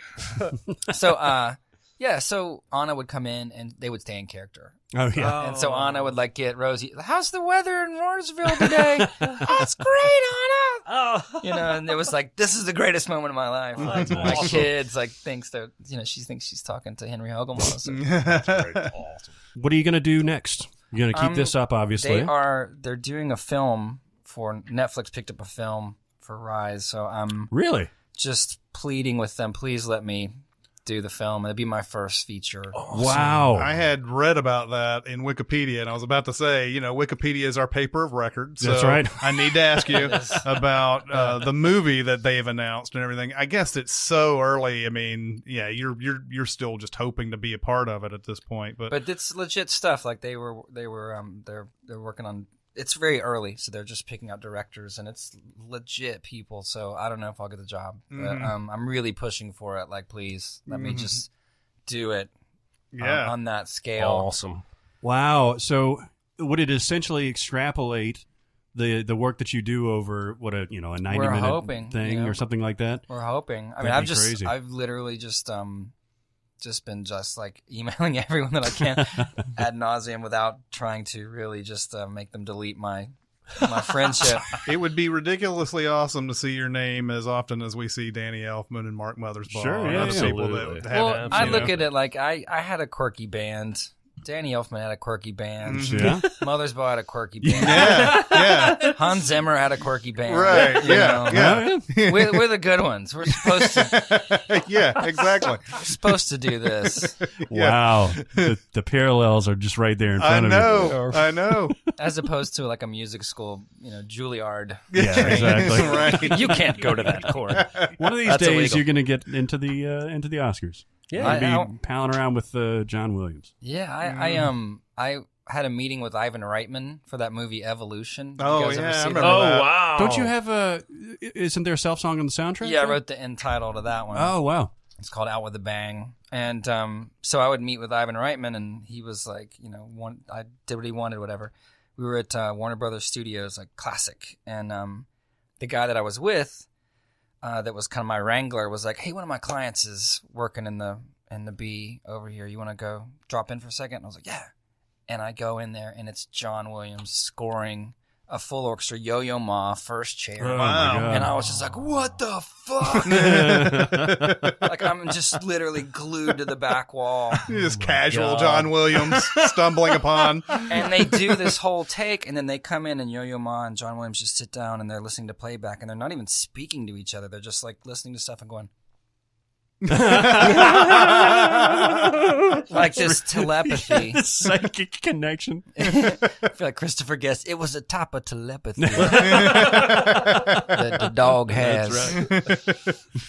Harlan Pepper. Harlan You Pepper. don't Oh, stop God. naming nuts. I can name I can name forty nuts, peanuts, pine nuts. It's also name of a town. By the way, selenium is the way to beat the aliens in evolution. Oh, really? good- I'm glad to know that. I am good. Head and shoulders. They used head and shoulders. Oh, Awesome. Oh, that's right. Contain Is selenium. Duchovny in that? yes, Yep. he is. Yeah, that, I remember that movie being awesome. Yeah. Well, it was uh, Orlando, Orlando uh, Jones. Wa- Jo- Yeah. Jones. Yeah. Yeah. Uh, no, it was a fun romp. It was. Did Reitman direct that? I think he, He did. did. I think he did. Yeah, yeah. It was an, uh, like 2000, 2001, Yeah, somewhere around there. Yeah. So you lived in L.A. for a while, Ten years. Really? Wow. Had, uh, what'd you think? I loved it. I mean, it's it's it's crazy, Mhm. but I liked the pace of it. You know, I liked the pressure of working there. Um, I had worked with a mastering engineer, Bob Ludwig, who's mastered everything, like every every record ever, and um, Audio master, not audio master. master. Yeah, he has mastered everything. I have the power. No. Uh, he um, yeah, he's just amazing, and and he's up in Portland, Maine. Oh little wow. cobblestone street, fisherman Yeah. town. I was like, "What are you doing here?" And he's like, "I Matt, I did ten years in New York City, and now I live where I want to live." And I, I was 21 when I worked with him, and um, so that always stuck with me. And I, I just couldn't do 10 ye- years in New York. I just was like, went to L.A. being a Tennessee boy. I was like, it's got grass, Yeah. you know, sunshine. So Yeah. uh, I did 10 years and I made a name for myself. And um, once my kids were born, I was like, I just don't want to really raise them. out there Yeah. because their family's here. I want them to know their family, so we moved back here, and um, yeah, it's it's it's kind of awesome. You can kind of work wherever you want to these Mhm. days. I Yeah. realized that I wasn't attending sessions that were just right down the street from me. I You was were already doing Skyping Skyping, in, yeah. so it was like that's a light bulb right there. It's so expensive. Yep. Yep. Well, and plus Nashville has blown up so much. I mean, it's not L.A., but it's God. It's it might as well be. There's a compared to lot what it more was. talent here now, or at least grab being pulled here. Mm, Uh, yeah. Yeah, we do have a great reputation for talent, and I remember moving there and thinking like, "Whoa, not everybody's a stellar musician." Like, you know, yeah, yeah. because you get really used to just a little twelve-year-old just blazing a fiddle or Yep. somebody just on a Mhm. guitar. That I got out there and people were just kind of like, "Gung, gung." I mean, you have, it's world-class talent, but I just was kind of, it's definitely cult- culture shock musically. But yeah. I appreciate Nashville now. I didn't appreciate it when I was making self records living here. I was very frustrated, and um, I appreciate it now. It's it, there's a whole layer of things going on, and it's up from like 80 a day to 100 people a day. You Now know? there you go. so I think we all had that phase uh, for Yeah. native Nashvillians, um, especially in that era, because it was so. Like you said, it, it, it seemed restrictive back in the in that time period. and, most people you meet, like uh, most people I meet, they're like, I've been here a month. yeah, Like, wow. Yeah. they're uh, they're they're probably got uh, seniority on a lot of ninety percent of people. yeah, you couldn't. There wasn't very. There weren't very many places to hang out, like uh, after hours, late night, anything. Mhm. Spe- people go, growing up in, in our era or whatever didn't have much to do in Nashville at that point in the mid late nineties. Hmm It wasn't. It didn't. You know. It was Rocket Town, and Rocket Town closed at ten. yeah, yeah. Everything had- closed had- early. Yeah, they had like skate in pizza. Yeah. no no beer. It right? wasn't until like, gosh, it was only really recently, like six, seven years ago, where it all started, where it all started Yeah. blowing up. I mean, Broadway's out of control. Like all the country stars, um, CMT and the show Nashville, just kind of like creating that whole thing. I remember Second Avenue Broadway, that was just this old giant man that would sit down there and busk, Mm-hmm. and I, I would always give him money. And one night it was really cold, and I threw a, I had a boatload of change, and I went flump right into his coffee, Oh, Oh, no. man! and he was like, "Man." Like, I'm so sorry. And now you go down there and it's just like Taylor Swift, you know, singer songwriter type girls and people. It's just packed. Mhm. And all these country stars are buying up all the honky tonks and building up these honky tonks. Mhm. And Kid Rock's big ass, dumb meat, meatball gravy pipe dance hall, whatever. It's like, the hell is going on here? yeah. So yeah, you have the you have you have uh, it goes both ways, I guess. You know, Definitely It- does. It's like you got a lot more to do, but also there's a lot of crap. You're talking about Velvet Thunder down in uh, on uh, Second Avenue, right? The the old guy that played the blues Is, back is in the what, day. Yeah, yeah, yeah. Yeah, he wouldn't talk to you unless you Nope. you gave him money. No, I- Mhm. He'd just he be was, hanging he out. He was the only guy though. yeah, yeah, he was, and uh, he made some money. I mean, he just Sure. you know he played he played he had like four songs, and one of them Ah. was about a big leg lady with a big old butt, Mhm. Yep. and everybody remember loved one. that one. And you know, as soon as he get a crowd around him, he'd hit him Yeah. with that that tagline. Oh, yeah. It would kill. remember that. He's showering. They're making it rain on him. Yeah. It's Oh yeah. Daily hit. I was about to say if if he wanted to stay and and talk more movies, we we would glad be glad to have you. Uh, Yeah, if okay. if not, um, and you have to go off and uh, and uh, do some important stuff, then Well, I, we can I do wanna, that. I want to hear you guys talk movies. Okay, great. Bring it. We It's- can do Oh, that. he's a brave soul over here. All right, so we're, we're going to uh, we got a segment where we basically recommend things and warn things. It's very straightforward, um, but uh, we've got a backlog because further backstory. We've been doing this movie road trip where we've been going across the U.S. in every state and going through a list of the movies set in that state uh, to kind of compare. You know what? What is the the overall kind of perspective of, of each state geographically in the U.S. Are you visiting a film site? Are you like where it was filmed? It's where it's just set. where it's just where it's set? just where it's set. Okay. Yeah, so there'll be stuff like in Montana or like South Dakota where there's nothing, and then there we were currently in Washington D.C. where there's a fuck ton. Of yeah, yeah, yeah. Mm-hmm. So we haven't been able to to get to our recommendations, so we've got a backlog. We're backed yeah, up. we're back We're- up. We got, we got, we we got some got, blue, we got blue unleash. balls. Yeah, yeah. Unleash, Chris. you want to Uh, unleash? Yeah, sure. Why not? Unleash. Um, I I don't know what to ca- I don't know what to call this either a recommendation uh or a rec a warn or a warn. I think it's all three. Uh-huh. Um so I guess it's a rec a warn. Um Gaspar Noé's climax. Oh no! Oh, did you see this at the Belcourt? I did. Oh, I saw this at no. the Belcourt. and I've I- heard so many mixed things about this movie. right? Yeah. And s- that's how you'll feel watching it. um, I watched it in Belcourt, uh, renovated, and they have a small auditorium at the top, and this is where this was. So it was like oh shit! me and like 15 other people, and uh, Wow. just kind of like hanging out in this. Okay, I'm going. I want to recommend this so much because there's so much like to it, but I mean, in a rec. okay, so you have this dance dance troupe, and Sofia Boutella's in this movie Oh wow!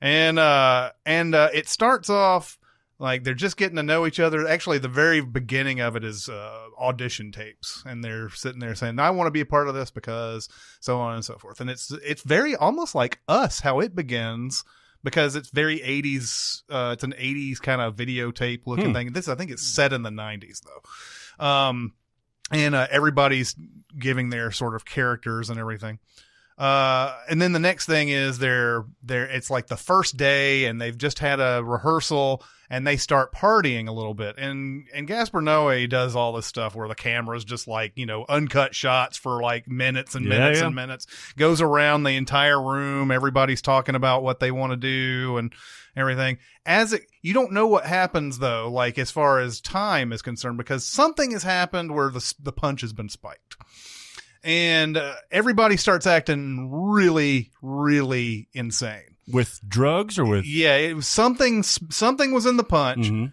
and then uh people start realizing oh i'm fucked up uh uh and who could have done this to us and uh anybody who's not fucked up is a suspect All right. and so like the so it's fir- like the anniversary party and Clue all just kind of kind of is. Kind of is. Um, and uh, so like one of the first people, they're like, "Oh, you're you're not messed up. Well, we're gonna we're gonna kick you out." And they kick this dude out into the cold and lock the door. It's snowing. It's like got to be like ten degrees outside or something like that.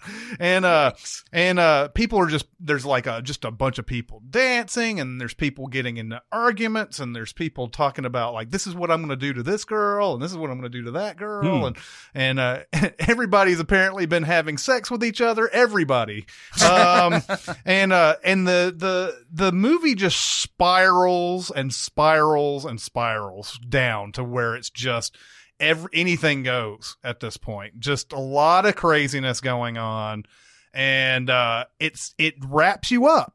It wraps you up, but you don't know if you you should be wrapped up in it because it's so like it. There's no story. It's just these people got messed up one night. Here's what you know. Here's the aftermath of that and uh and it's just a just a lot of just craziness going on there's people who die in this there's people who make very bad decisions there's people who This is a party that they're at. they're at a party yeah it's a party inside a sort of a their studio Okay. um I so all this all this debauchery is going on, and no one thinks like maybe we should go. Yeah, yeah. And uh and uh there's a there's a there's a reference in the during the uh audition tapes and everything, just like us, where there's a either a tape of Suspiria on the right Oh, side really?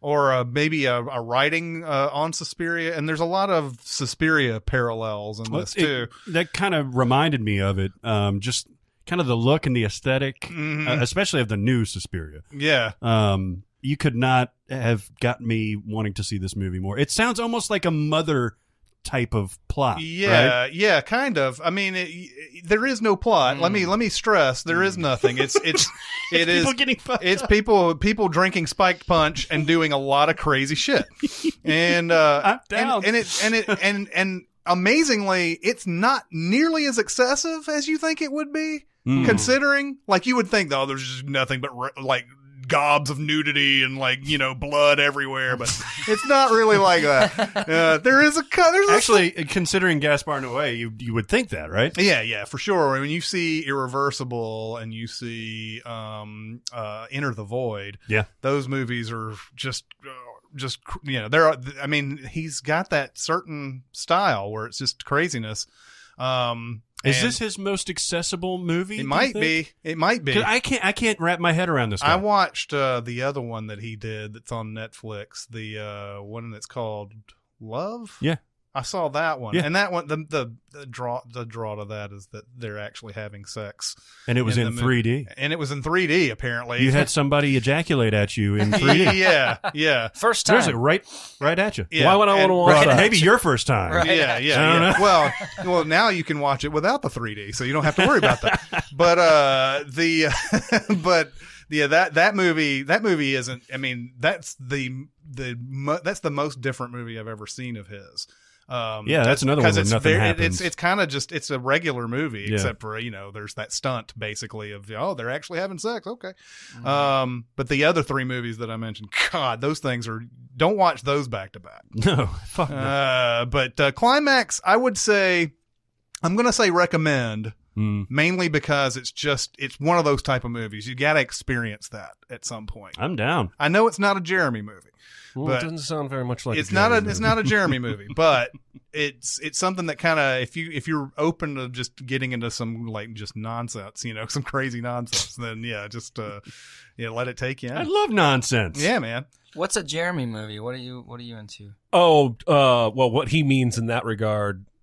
What do you mean in that regard? Uh, Ooh, I, I am saying Schlocky that- horror with lots of nudity. Yeah, well, right, I, all w- I mean, and there's not lots. Uh, I'm a big fan of all five wrong turn movies. If that tells you anything, Okay. even though they're all terrible. yeah, so so yeah, he he he'll in the horror genre, it has to be the terrible kind. It ha- Okay. can't be the um, you know, the the slick uh, High budge. conjuring Yeah, types or yeah. whatever. Mm. Uh, but movies that go a little bit off the wall and, s- and off That's center. Jeremy movie. That's that. Yeah, How much do we want to fight today?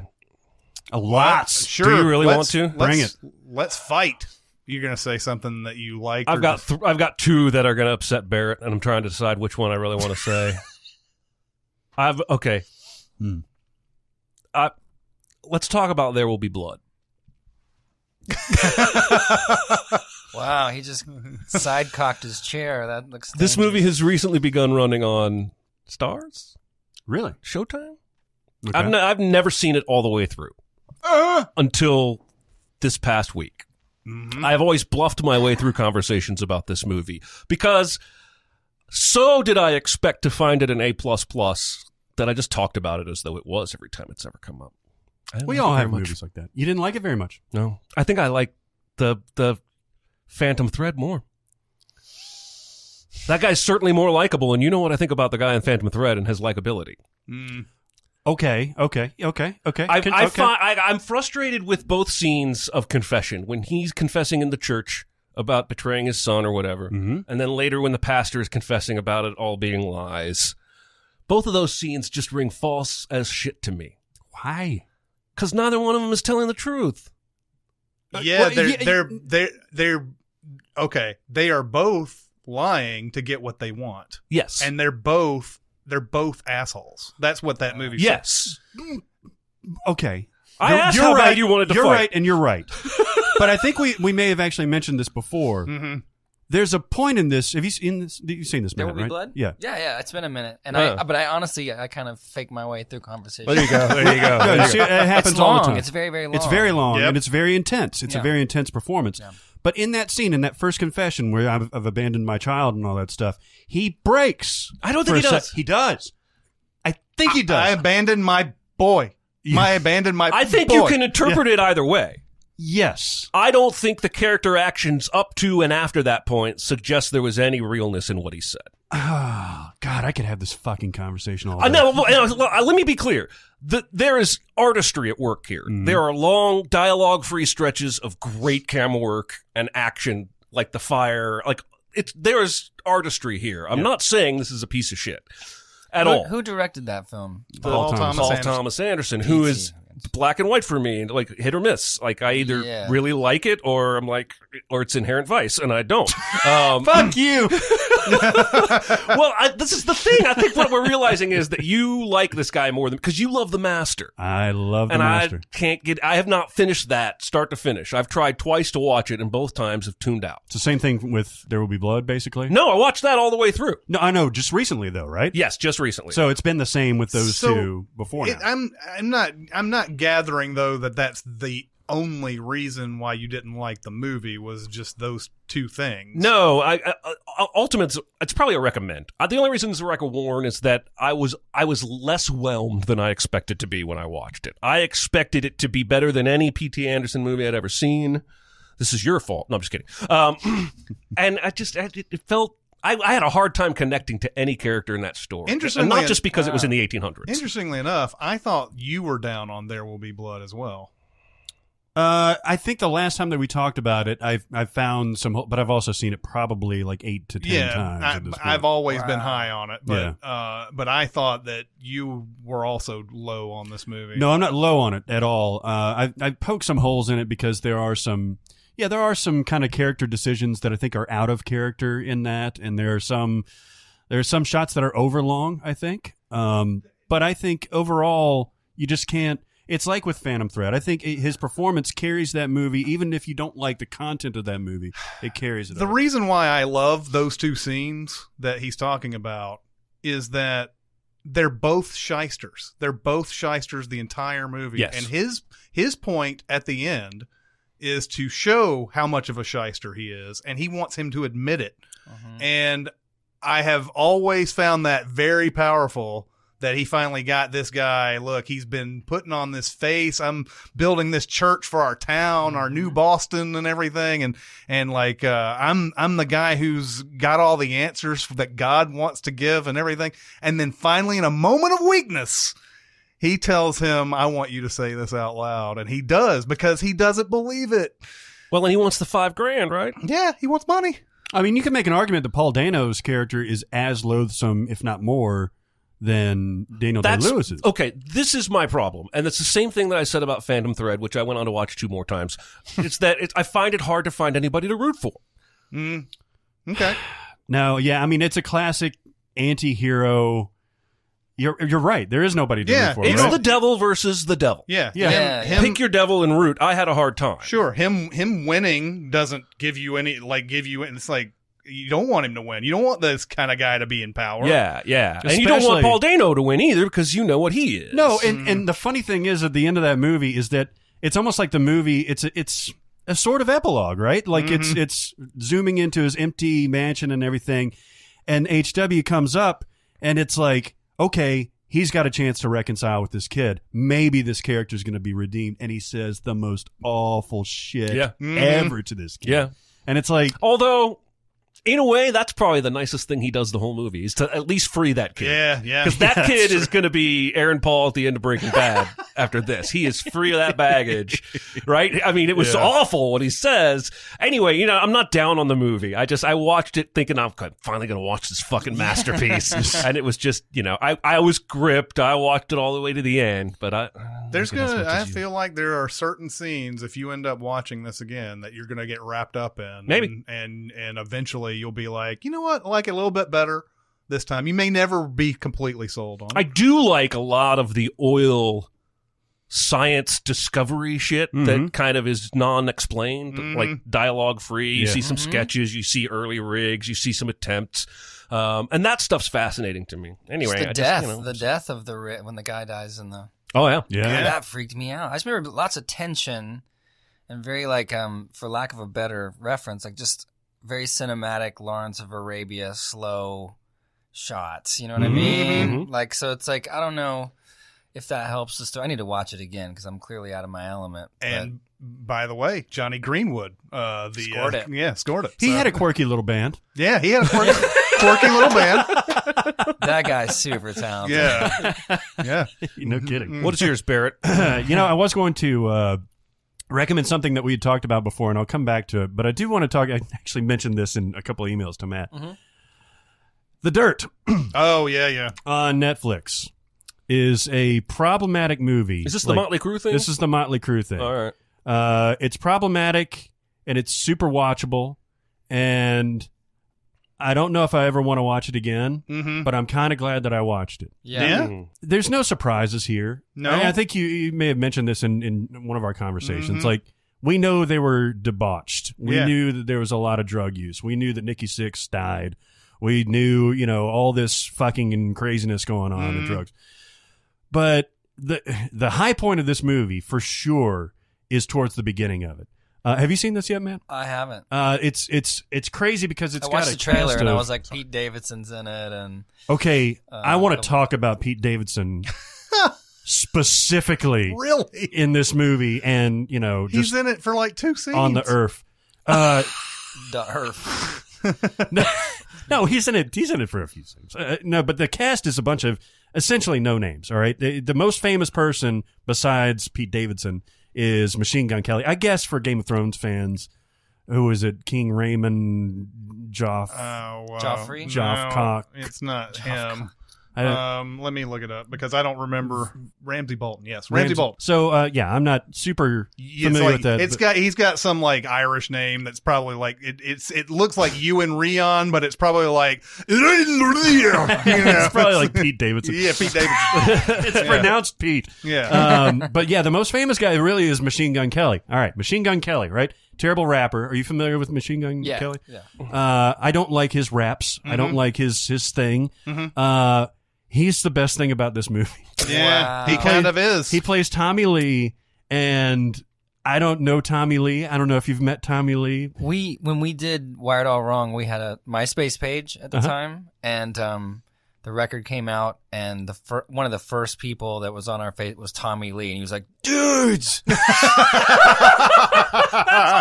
this shit's banging, man. Let's get together and do some jams." and I don't, I don't even think we wrote him back. oh man, He's a fine, fine person. Yeah, yeah. Like we were just like, nah, we don't really want to do anything. Oh my god! Well, when the, this movie starts, it's from Nikki Sixx's perspective. So he he grows up, you know, abusive childhood and all that stuff. Mm-hmm. And there's this sob story, and then all of a sudden, the voiceover, the perspective changes to Machine Gun Kelly as Tommy Lee, and he's all he's exactly what that post was. He's all about the love and dudes and No, stuff very, like that. very- that's very much. He seems like I don't know him, but like he seems like a super sweet dude. You but know? it's it's crazy that this character actually is the best part of this movie, maybe the whole way through, but certainly at the beginning. Mm-hmm. And I'm a sucker for these orig- band origin stories and stuff like that, where like you know this is how Mick Mars, Mick, the Mick Mars character is actually really good in this too. I forget who plays him, but Anthony Cavallero.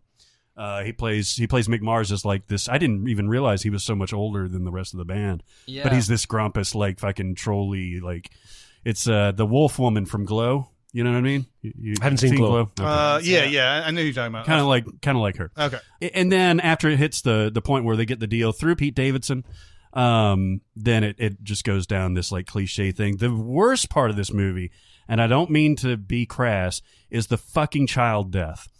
All right, so Oh, Vince Neil's Vince Neil's dies, yeah. uh, daughter dies. daughter. Yeah. Um, and they spend an excruciating amount of time on this. Mhm. I'm sure it was difficult for him, and I sympathize with him. If he he's definitely listening right now. yes, he is. So, Vince, listen, buddy, I'm sorry, but in a movie like this, we didn't need like 10 minutes of this girl dying. no, no. oh wow. That's, that's the problem with biopics for me in general, though, is that they always have one to five beats that feel thrown in just because everyone knows that happened. Yeah. And most Yeah. biopics suffer from that some, somewhere along the way. Yeah. right? Yeah. Yeah. And uh, the last thing I'll say about this, Pete Davidson, I don't get Pete Davidson. All right? Mhm. Uh, I know he's got a thing. I know he's got a following. I know he's got fans.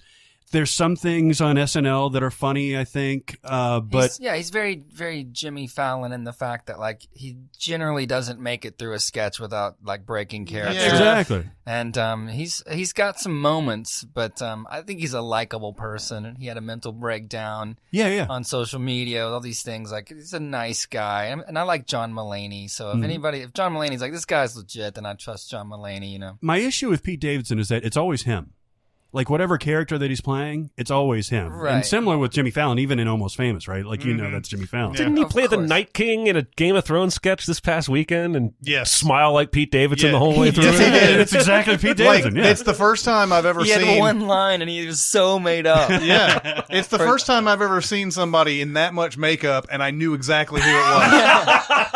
so that's that's worth that's gotta be worth something. it is. It But is. yes, he does seem like a good guy and a very honest guy and all that he stuff. may have the funniest part of this movie though, and that's when uh, they they do an almost uh, Adam McKay like type of thing in this, where they go and interview the per- the character Yeah. about something, and and uh, there's a scene where I guess it's uh, Vince Neil is banging this chick in a it's in a- Nikki Sixx actually. is it Nikki Sixx? yeah, yeah. And uh and uh then Vince Neil is banging Nikki Sixx. yeah yes It's an episode of Mr. Show. yeah and uh the the they someone walks in and they're like oh really and uh it turns out it's this it's Pete Davidson's the whoever Pete Davidson's playing. It's it's uh it's his character's girlfriend. Yep.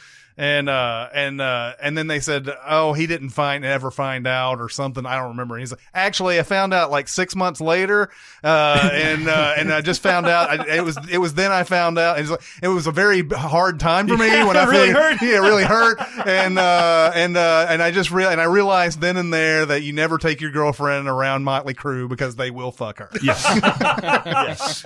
What did you do? You agree with my overall assessment of the dirt, or do you? Uh, Yeah, I mean, yeah, I did. I didn't like it at all. It was just, uh, it, it- to me, it's it.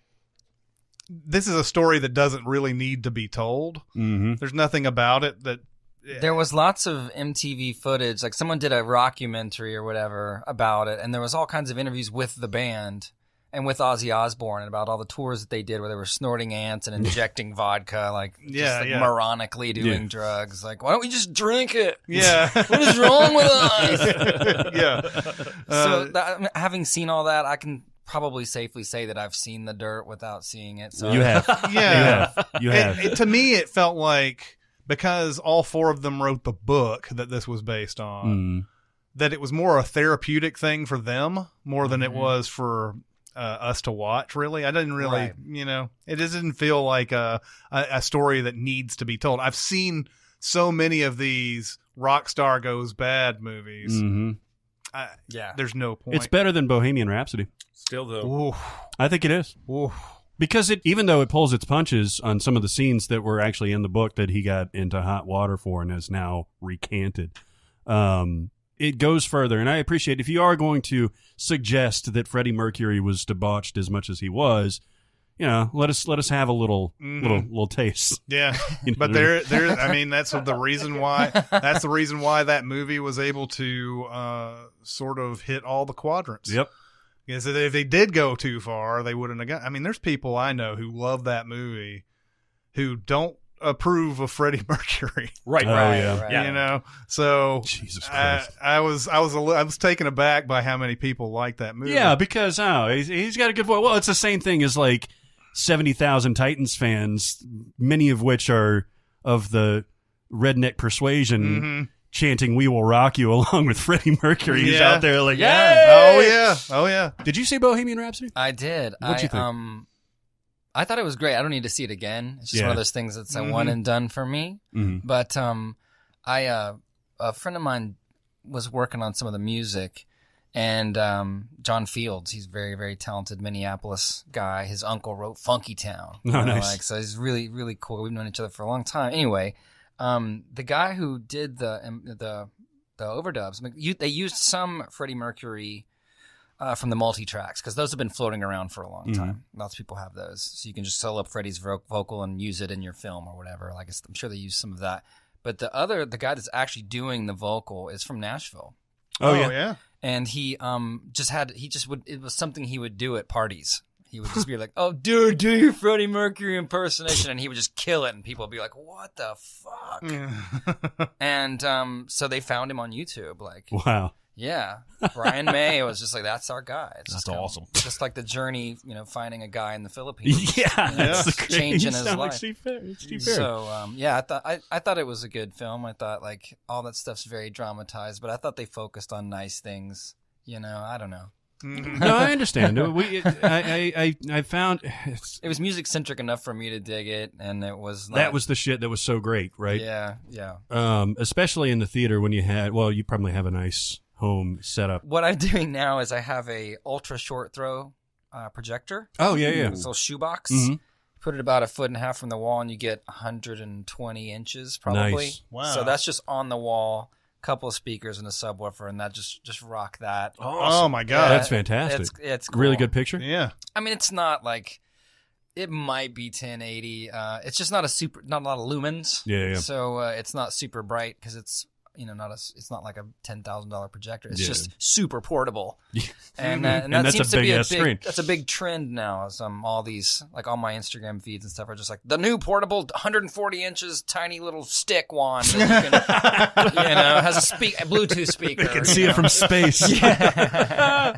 so uh, no, I, I always wanted like a really good projector. They were just always so expensive, Mm. and um, I just I wanted the best stuff. So I my my long story long, um, I want to get my home theater going again, Mm. and um, that's that's just my happy place. Nice. It's like surround sound is is insane. No one really got into it just because it's so. There's only one tiny little magic position Mhm. you know. Um, but I loved surround music. I got into all that stuff, like Buena Vista Social Club and surround. I was like, Oh, yeah. loved it. Oh wow. And um, I wanted to explore mixing and surround, but not like you're on stage, but just panning stuff all over the place and ping ponging it. But then knowing that you would invest all this time making a surround sound piece of music, and people would listen to it on this and be like, "Why is it just a ping pong ball sound for ten minutes?" You know. you know what I would like to watch with a nice surround system would be like an Altman flick, like MASH. or Yeah. something, Oh, to yeah. Yeah. Hear all the conversations going on at once Mhm. from the different angles where they actually are. Oh, yeah. that would be rad. Did you ever hear uh, Zaireeka, the Flaming Lips uh, album that they put out with The four, four different discs? uh, CDs? Yeah. Yeah, yeah. I mean, I, I think I made it through a couple minutes of that. know, it was it four was players, and then in ten seconds, oh, in fifteen seconds, you got to turn on Wizard of the Oz, and then a monkey shows up, and you give it a dollar. yeah, that was wild. I never, uh, I never did the four CDs. I, I, I, know that they I've did never in, even heard of this. they uh, they did it in parking garages, right? Where it was four separate discs. This was before Soft Bulletin came out. I think. Mhm, mhm. um, and four separate discs, and you were supposed to play them some simultaneously, and some you come in like ten. it- It'll give you a cue like ten seconds later. You hit this one, but you had to have four different Players. vessels for this to come out. Yeah. Right. It was very like, okay, turn the key. On Three, two, one. you know. Yeah. Anyway, nuts. do we want to do another? Do you have anything that you want to recommend? Um, I, I, I don't know. I, I've just been working, so I'm a little out. I just, I liked the Ballad of Buster Scruggs. Oh, right? yeah. That's my jam. Um, I don't even think I've made. I've gone. I've started it six times, and I don't think I've made it all the way to the end. But I just, I love the first bit. I love the Tom Waits. It's Yeah. amazing. Tom Waits. one is He's so awesome. he was so great in that, Mhm. and um, He's a sneaky underrated actor, I think. He is, and I just think the Coen brothers are just like I don't know how they do it. Like when you see an interview with them or you you read about them, they just seem like such sad sacks of dudes. You know, they just seem so depressed. But their work is so it just brings me so much joy. I mean, Oh Brother, Where Art Thou is one of the greatest. I, I love that film. I love um, Mm-hmm. Miller's Crossing, all the you know Fargo, all all their stuff. Mm-hmm. They're just so good. They are. They did And- Lebowski too, right? Yeah. Yeah. Oh, yeah. Of course. So I actually have some. I actually um that was filmed at Hollywood Lanes, and um for a Christmas present one year, a friend of mine got me a bowling ball, and it had two bowling pins on top of it, and um I was like, "Where'd you get these bowling pins?" She's like, "Well, they demolished Hollywood Lanes Oh yeah. and made a part, you know, built a built something else." And I was like, "So these are from Hollywood Lanes?" And I was like, "So these are probably like the last." These are, awesome. you know, the That's last. awesome. This is some Lebowski legitimate bowling pins. So hop on eBay, see what I can get for Yeah. that. That's right. That's right. That's awesome. It's got the the best version of Hotel California I've ever heard on there. Oh, man. Oh yeah, yeah it's like so the good. Spanish version. Yeah, it's the uh, what is that style of music? It's not Esperanto. It's a that's the language. It's, It's uh, not really flamenco. The either. William It's just- Shatner it's language. Just uh, Tahio. Tejano. Tahano. Yes, Tejano, Tejano music. Mm, It's mm. th- that kind of style. Yeah, it's so good. Yeah. Otherwise, I fucking hate the Eagles, man. yeah. you know, I've been watching a lot of Tron Legacy lately because Yeah, that also baby. recently came on Starz. Yeah. and I've never he's seen it. like 25 percent the dude in that movie because Oh, at now his least. character is kind of hippie-ish, but all throughout that movie, he's saying to his son like. Time to go, man. Hey, dude, let's get out of here. Like, he literally says dude at one point. Uh, and he's like describing the coding at one point. He's like, far out, like uh, biochemical jazz. Yeah, yeah. Very dude Oh, he's very dudish in Yeah. that, And and I, he's I dig CGI it. to be younger and all That's in right. some scenes, Yeah, right? yeah. I, I haven't seen it, and I Oh. should because I loved the Daft Punk uh, soundtrack. And I, Oh, that. and there's I a- liked. I p- spent many years in front of the light cycles, but and I remember the original, but like I didn't see the new one. Oh, it's so good. Michael Sheen is I like gotta the check club that out. owner. I would I would definitely recommend it. There's Yeah. uh Michael Sheen is is playing like a Bowie esque character Okay. in in the scene that features Daft Punk actually. The in son the, of a maker. oh God, I love that movie so much. It's not great. that scene in particular is one of the most fun things I've. It I've ever absolutely is from start to finish. That whole scene is the, the best thing in the movie. if there was a way to re-release Tron Legacy, like it, I mean, somehow I, I I don't know what I'm actually even proposing here. I But- don't either, but, but, there's it's got a huge following. it now. does. I, in fact, I almost never hear anybody say anything but, but good things about it. Mhm. And I know that the director wanted, wants to make a third. This is the guy that made Oblivion, Kosinski. Yeah, Oh yeah, yeah, Kosinski. yeah, yeah. and that the stars have Olivia Wilde has been pretty vocal about wanting to make another one, and I think eventually it'll get there. Maybe it needs some kind of Deadpool leak type event to trigger some kind of a fan movement. Right. happened with her? How did she? s- I don't want to spoil. I No, don't because- don't, wor- don't worry about it. I, I still haven't seen it. Don't worry about it. Okay, well, I've got a question then. Like, what happened with the Olivia Wilde character? How does she get out of that game? They, they just say they say very early on that what um, the bad guy's trying to do is get out. He figures if Clue.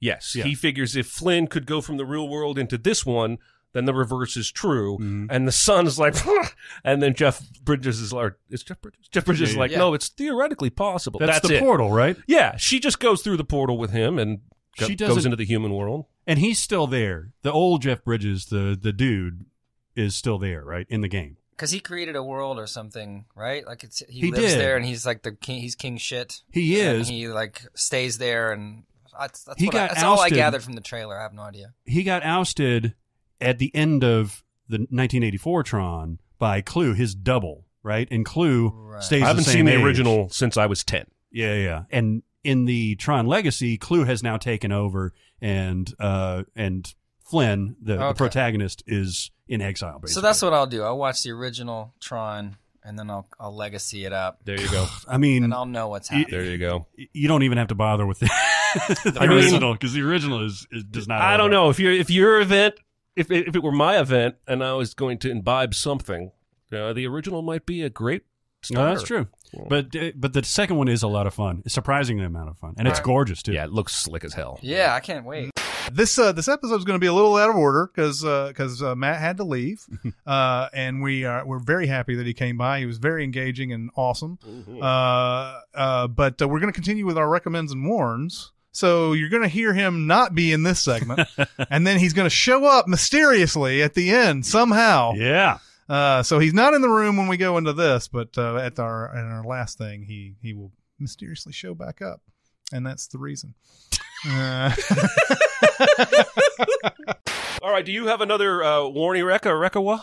Um. Yeah. It's, and guys, I, I watch a lot of movies where I just don't know what where to land. I, Mhm. I, it's it's just the way it is. These movies are weird a lot of times. Uh, I, I'm gonna. There's a double feature that I'm going to. I'm going to end up recommending because I think different is something that we should always recommend. Mm-hmm. Um, even if you may not react to it in the right way or whatever. So on Mubi, there was a movie called Sex is Comedy. Oh Did you see this? no! I saw. I think the second part of your double feature. Fat Girl. No. All right. Never mind. I saw an Anatomy of Hell. Okay. Yeah, By the so same- by the same director. director. Yeah, yeah. Uh, her name is Catherine Breillat. And she ain't scared. Breillat.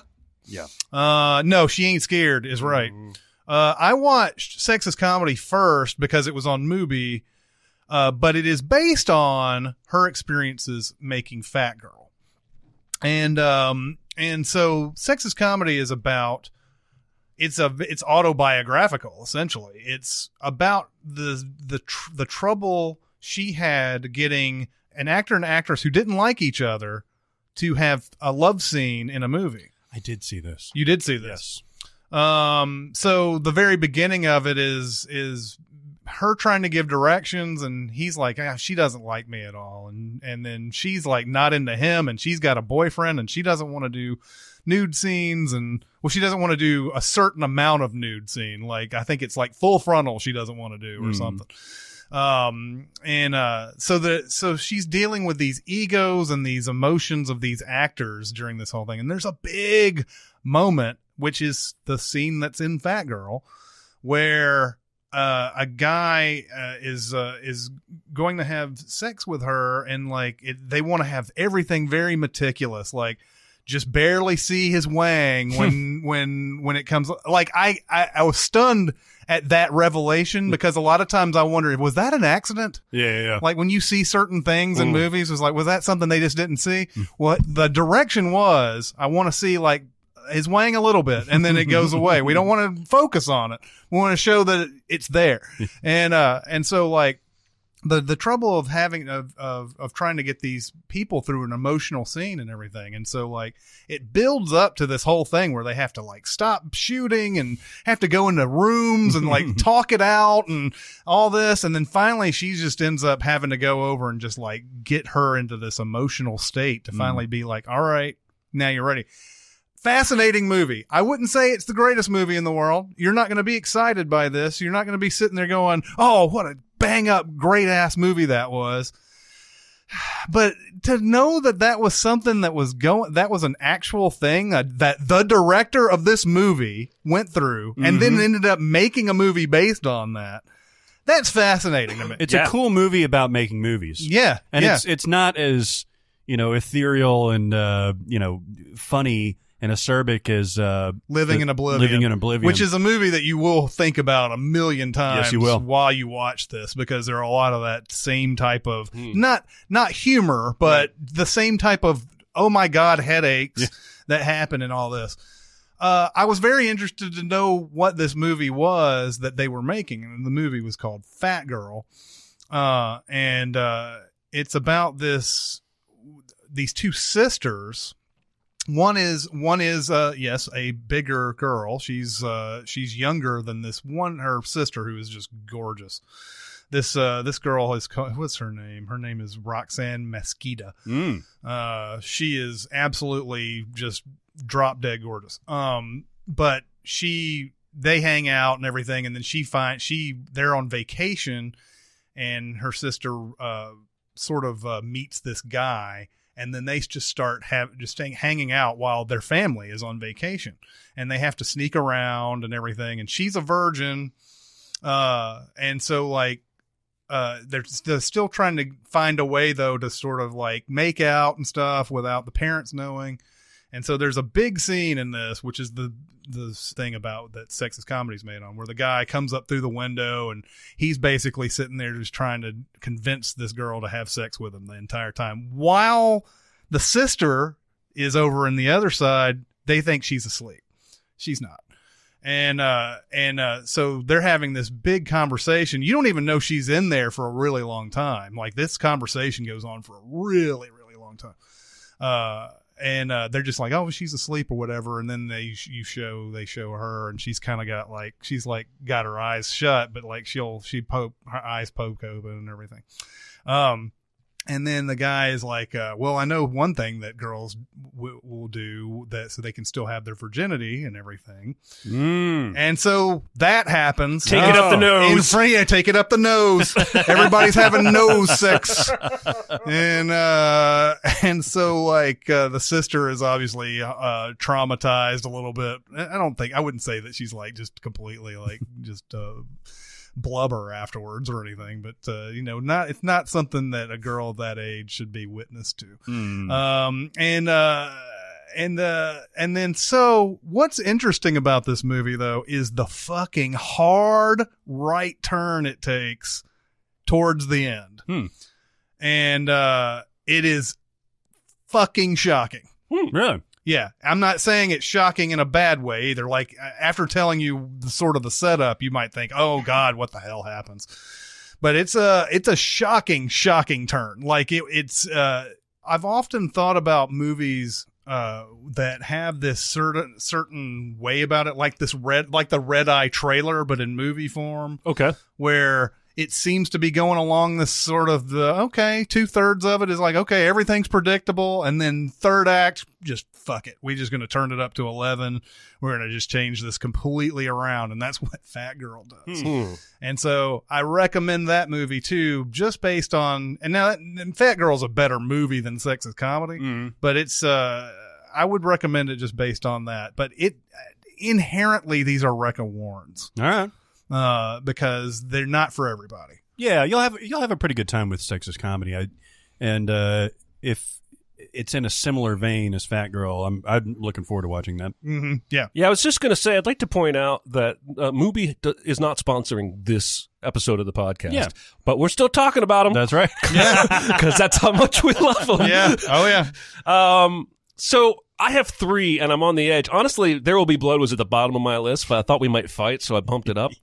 Um, because I've been watching a lot of mainstream movies lately. Like I have this kind of reputation of pulling something obscure out of my ass for the recommender warrant. But these are all mainstream. So I wanted to, at first I was going to talk about the favorite because my wife and I are 0 for 2 lately. We we put in the favorite, sat Uh-huh. down to watch it, and did not enjoy it. Um, didn't hate it. Performances are good. mm-hmm. Um, I don't need your anachronistic bullshit. Sorry. That's not even the movie I want to warn. All right. You love it. Yes. I see art. Didn't like it. All right. All right. But what I really want to talk about is the next movie my wife and I put in to watch recently that we hated, and that's the Mary Poppins Return sequel. Oh, God. Emily haven't Blunt's seen in this. Yep. She does a pretty good Mary Poppins voice. All right. I'm out of compliments. Mm. What uh what's the deal with this? Is this another uh kids forget that uh, they had an experience but they have to be reminded It about is. their childhood? is. In, it is in that like because okay, so Jane and Michael Banks have grown up. Mm-hmm. Um, Michael's wife just died. Hey, because we needed some emotional button pressing. There you go. He's got three kids, and uh, his sister Jane comes over to help take care. of He's out of money. He's about to lose his house. Mhm. Still works at the bank, but seems like a pretty decent father. Obviously, it's time for Mary Poppins. Yep. Yep. My point, by the way, is that Mary Poppins is not needed. Um, Mary Poppins arrives and turns him into a worse father than he was before she showed up. All because she has an agenda. So Mary Poppins shows up. She's like, Well, you're busy. You're out of money. You need a nanny. I'll take care of the kids. And he's like, Oh, I remember Mary Poppins, but none of that magic shit happened, right? I don't know how they work this out, right? So then, fucking, all it comes down to is this piece of paper. He's got shares in the bank. He Uh-huh. owns shares in the bank. Bank. Evil Colin Firth is trying to steal his house because that's what you do when you when you need a villain. He's trying to take people's houses. Yep. For no reason. He's gazillionaire. Mm-hmm. Doesn't need that house. Got thousands of houses he's already repossessed, but he is laser focused on taking Michael Banks' house. Michael Banks can save his house if he can find the certificate of stock of shares in the bank. Mm-hmm. Unfortunately, his stupid ass kid. Well, first of all, unfortunately, he drew a doodle on the back of it a long time ago and it got stored as a doodle instead of an important document. Then his kid takes a doodle paper, cuts it up, and uses it to patch up a flying kite. Mary Poppins is watching all of this. She actually tells the kid, go in that room and tidy up those papers so that he'll find the drawing and then have it on him when they find the kite that needs patching. Oh, we'll use this. She basically guides the whole fucking thing All right. Why is this making you so angry though? because it's infuriating. First of all, it's the, have you seen it? I have not. It's the same fucking movie. It sounds exactly like Every Mary single Poppins. beat, like because uh, Lin Manuel Miranda is, is playing Dick Van Dyke's character instead of a chimney sweep. He's a lamplighter. He's actually in it, right? yeah, Yeah. he's still a sooty street worker. Mm-hmm. He shows up, Street and worker. along with Mary Poppins and the kids, they jump into a painting Uh-huh. and have a 25 minute LSD induced Nice. adventure with Mhm. cartoon animals. Mm-hmm. It's the same fucking movie. Wow. And Mary Poppins knows where the stock certificate is from five minutes into showing up in the movie. She could just say, Michael, there's your paper. Go save your house. Instead, the stress of not finding it causes him to yell at his children several times. Enough! Shut up! Turning him into a bad father. It's almost Yeah. like she's not real. Yeah. I think people are going to twist that to to make that like you're being a dick to me right now. no, no, no. They, I think I, I understand what you're saying. I, to me, it sounds like, like if I were to watch this movie and by the end of the movie find out that she's not real, I would, it would make all that stuff that you said would make more sense. Exactly. But she is real in the movie. In the movie, she's Yeah. real, and and um, I was saying like you you were you were saying it's almost as this is a movie and she's a fictional Yeah, character. yeah, but that's yeah, not what you were saying. So then at the very end, literally five minutes to midnight, um, the dad picks up the kite because they've packed up their house and they're moving because they're going to lose their house now, and sees through the drawing that he's holding up to the light that Lin Manuel Miranda lit, sees the document of certificate of stock on the back, Mm-hmm. and now they're going to be able to save the day. All right. It's just it's just a bunch of bullshit drama created because Mary Poppins wanted to push pieces around a chessboard. And then they decide they have to turn back time. This is a movie about magic. So to turn back time, how does Mary Poppins do that? Oh, I think I She think flies up to Big Ben and literally pulls the hand back a little bit. This movie infuriated me. I have a very good friend who loved it. His name is Dicer. yeah. it actually It's- sounds kind of It delightful. sounds, it sounds like, I have not done my job. it sounds like that Big Ben moment. It sounds like any asshole could walk up to the top of Big Ben and Yes, in fact, Turn the what hand. happens before that is Mary Poppins lets Lin Manuel and the rest of the Leeries, those that's the name of the guys who go around Britain turning on and off the streetlights. that are not chimney sweeps, right? right, they're not chimney sweeps, they're Larrys. That they all stack their ladders and like pile climb to the top of Big Ben. mm-hmm. And then somebody goes, "Hey, well, what what's your idea?" Well, how are we going to st- turn back to? They don't even fucking know. Well- and they're like, "Well, we're helpless." And then Mary Poppins is like, "Fine, I'll do it myself," and floats up there and pulls that fucking bitch. And if you, you know, and if you could do that, and if you could do that, why don't you just go back in time and kill Hitler? exactly. No, no, just right here. yeah, like, I, well, you know, you know, I want to adhere to the time travel rules and shit. Don't want to meet myself or something, you know, and you know, Oh my god! Like I know that I have experiences more than normal people because of the sins videos. That movies might make me angrier than they might make someone else. And I know in general this movie made a lot of money and people seemed delighted. you by know, I don't think it made as much as they were hoping it would. Really? Yeah, I mean, let me look at it real quick, but I don't think it made. I can't believe this movie made you so. I mean, it's it's not Pete's Dragon bad, but it got to a point because the way that they shoot the movie, I'm just going to go ahead and spoil the fact that we have a sins video coming this week for this uh, the week that you're hearing this because I have to talk about the sin I'm about to write. I wrote a sin about how okay, so they shoot the certificate when the kid takes the drawing, put away the papers, the way the camera shoots the thing. I wrote a sin that said, okay, I know the stock certificate is on the back of this drawing. What I don't know is if the movie wants me to know like, is it trying to tip its hand? Or is it trying to like be sneaky with foreshadowing it can claim later I didn't notice? Ah, but like she fucking knows from moment one. She knows. Well, Like, like at least in the first movie, the parents were bad. They were they had, Yeah. they were distant from their kids, and she helped heal a family unit. mm-hmm. She doesn't do that here. The- he's a good father.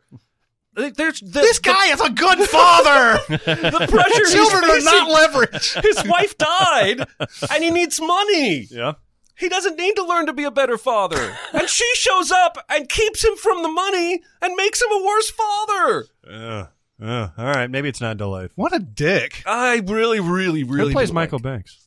Who plays Michael Banks? The guy from um, Cloud Atlas who writes the music, the pianist. Uh, I can't Ben remember. Whishaw.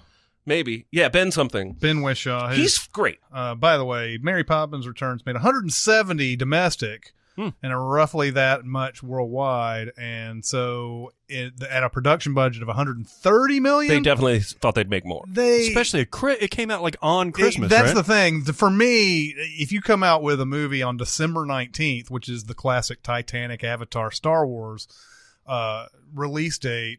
You should, and you have a movie that you really believe in. It should have made way more than that. Yeah. and there was no competition either around that. And then, you know, I need to, I only have the one viewing, so I need to go back to the songs and see if any have real staying power. Um, I didn't feel like they did. Hmm. Um, but uh, there's even some like oddly inappropriate sexual innuendo in the song they do while they're in the painting. It's actually painting on the side of a bowl, but I don't think that matters. Um, but there's like some there's like some wink wink.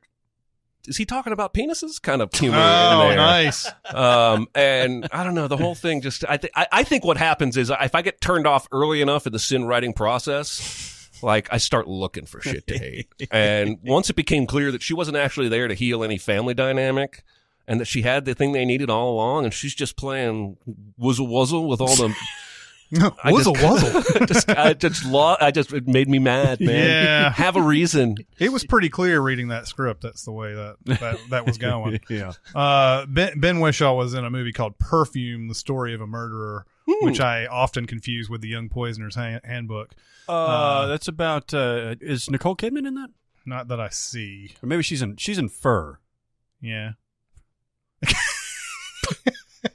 but uh, Ben Whishaw plays Jean Baptiste Grenouille. There you go. Uh, but uh, I'm totally butchering the French uh, ass stuff. No, I'm, it- I'm I'm sorry, French people who listen to our show. That's right. I saw an episode of Friends yesterday. Really.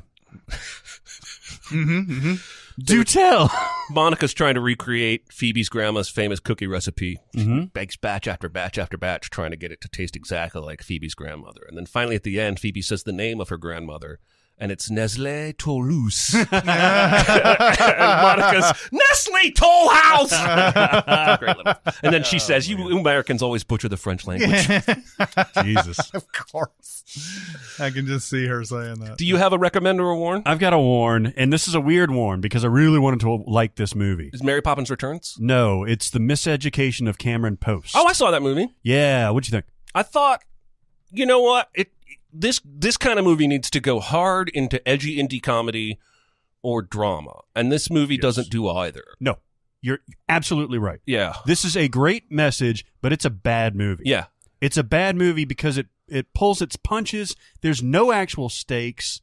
It's so weird. So Chloe Grace Moretz plays a, uh young woman who is a lesbian and who falls in love with her best friend and starts, you know, a sexual relationship with them, uh, even though they're supposed to be going to prom and having boyfriends. Have you seen this? No. um, and having boyfriends and all that stuff.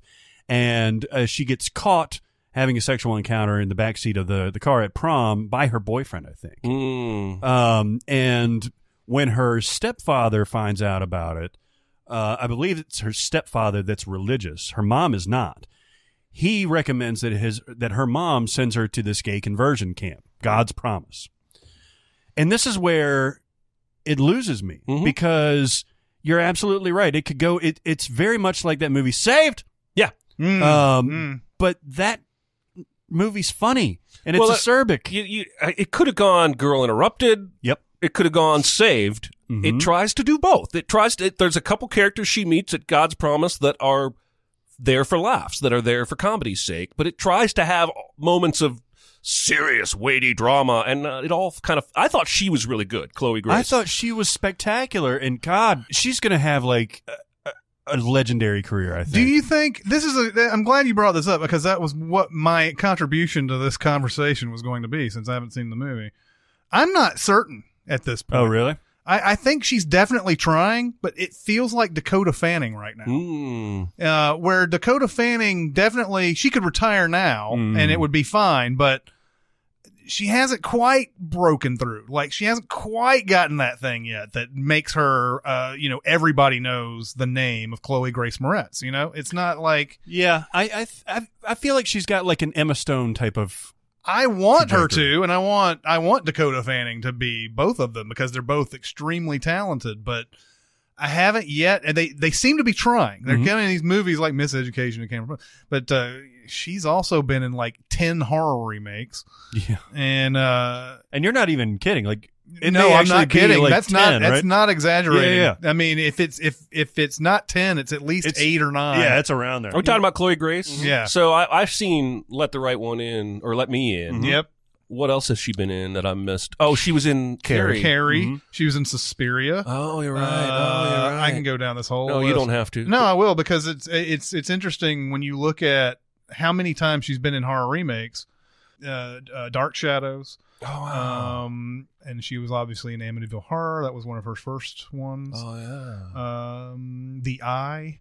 Oh wow. Um, Oh, that's already more than I actually thought you were going to find. yeah, it's it's a lot. Um, the Amityville Horror. Yeah, so those were the ones. I mean, it may not be. It's somewhere up there around There's- six, seven. Given her age, I mean, what is she? Twenty one. She's twenty one years old.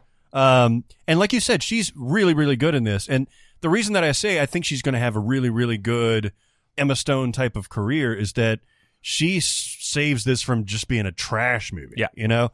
And uh, if she starts making, I don't know, not that she needs my advice, but if she st- starts making decisions like Emma Stone did, Mhm. besides Aloha, you know, she has an Aloha, but she's also got a La La Land, you know? Mhm. So, uh, you know, I think, I think she has the chops to do it, you know, just as well. Um, but overall, this movie, it ends like just bizarrely gruesomely Mm. and it, it's, it's just, and I'll spoil it. Do At it. the end of it, they leave the camp. Mm-hmm. They run away Mm-hmm. And it's fucking as it, it, it, it And takes them walking off of the property. That's it. Mhm. And then They could have done that every time. Martha, Marcy, May, Marlene. That's true. Mm-hmm. Mhm. Uh, no, she goes. She leaves with her two friends. It's basically mean, the Mean Girls people, but they literally walk off the property. Mhm. That's how. That, that's how low the stakes are in this Mhm. entire fucking movie. Mhm. And have some stakes or have some comedy. What I need It to doesn't have do. Have, either of you seen the one, the gay conversion camp movie with the kid from Manchester by the Sea? Boy Erased. Boy Erased. I have not. I'd like to see that. That's what I want to see. Yeah. because I I remember reading reviews of that that sounded like it like it treated it a little more dramatically. Mhm. Um, which again, that kid's a great actor. So, but she was great. She's okay. It wasn't a terrible movie. It was just kind of blah. Yeah, I was I was really I was looking forward to it because it, it looked like it was a good um, message, like I said. And Desiree Akhavan is the uh, the director. The Prisoner of Akawan. The, yes, and Desiree of Akhavan. She probably gets that a million times. I'm sure she it's does. not an original joke to her. Uh, but yeah, so you don't you don't need to y- go watch Suspiria again All right. if you haven't watched Suspiria. I haven't watched Suspiria. it. Yeah, should that's watch this definitely not a Jeremy movie. No. Holy I want to watch that Holy movie. It's in my stack, right but it's not moving up. The things I- are jumping ahead. I of will it. say that uh, you know uh, Dakota Johnson is worth watching that movie for. oh yeah, She's pretty. She's a good actress. But yeah, she uh, just a little bit. just a little Just bit. a I, little bit. yeah, I don't remember. But uh, it's It more. It's like more. It's more about her performance in this one. It's- I've always thought that she was. Like I've said this before. I've always thought that she was good, but she was always in stuff like Fifty Shades, and uh, and now she has a movie where she actually can show how good she is. Mm. Mm. And yeah, I unfortunately, if you want to see that, you'd have to watch Suspiria, which I love, but I love the part in Social Network. The scene that she's in is so funny to me because there's so many little conversational Sorkinisms, little quirks. Because, like, he's in the bed and she doesn't think he remembers anything about her, and then he proves that he does, and then he's like, "Aha! Now the shoe is on the other," and she's like, "Foot," and he's like, "Table," which is turned. and then when he calls her out to ask about Facebook, and she says, "There's a snake in here," she runs out. and He's like, "Okay, there's not a snake," and she's like, "Ah, "I could have died," and he's like, "How could you have died?" Still having these side conversations the whole time. It's really funny. one thing we need to address is Charlie Charlie Theron saying that she wants a boyfriend. Oh yeah. Well, she didn't just say that. Like, she put it out there. yeah, and I don't I don't get Here, that. here's here's my question: Do you think that she put it out there, hoping someone in particular would get that kind of uh, vibe, or just everybody in the world, and she has her choice? Like, it's Maybe it's just a joke.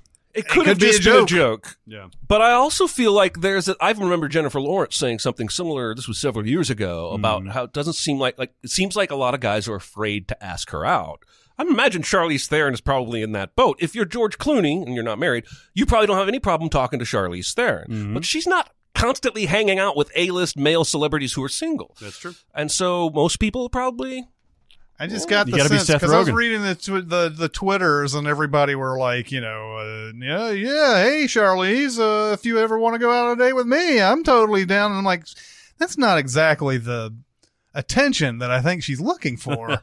No, I Like- like the idea though that there's one particular person, like maybe they have flirted with having a relationship, but he hasn't made the move yet, and sh- this is like her sending a signal to him. I feel think like that'd be that's awesome. gotta be like directed towards like some very specific people because I don't, I don't, Charlize Theron doesn't know what kind of like uh, Pandora's box she's opening. Well, seriously. I mean, she can obviously ignore most of it, but uh, you know that's going to be everybody who ever runs into her that's seen that article is going to start being like, "Oh, I've got the balls." I think I think it's it it may be a joke because she goes on to say like I've been single for 10 years and she clearly hasn't been ten, single for 10 years. Yeah. She's got two kids under 10. She's well, I, she adopted those kids. Did she adopt them? I think she adopted those But kids.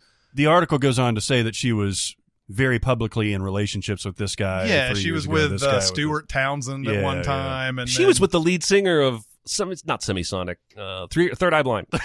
yeah, and uh, didn't she? Mr. Tone They're Deaf. all the same. Didn't she have a brief Sean Penn thing too? Everybody did. yeah, I think everybody did.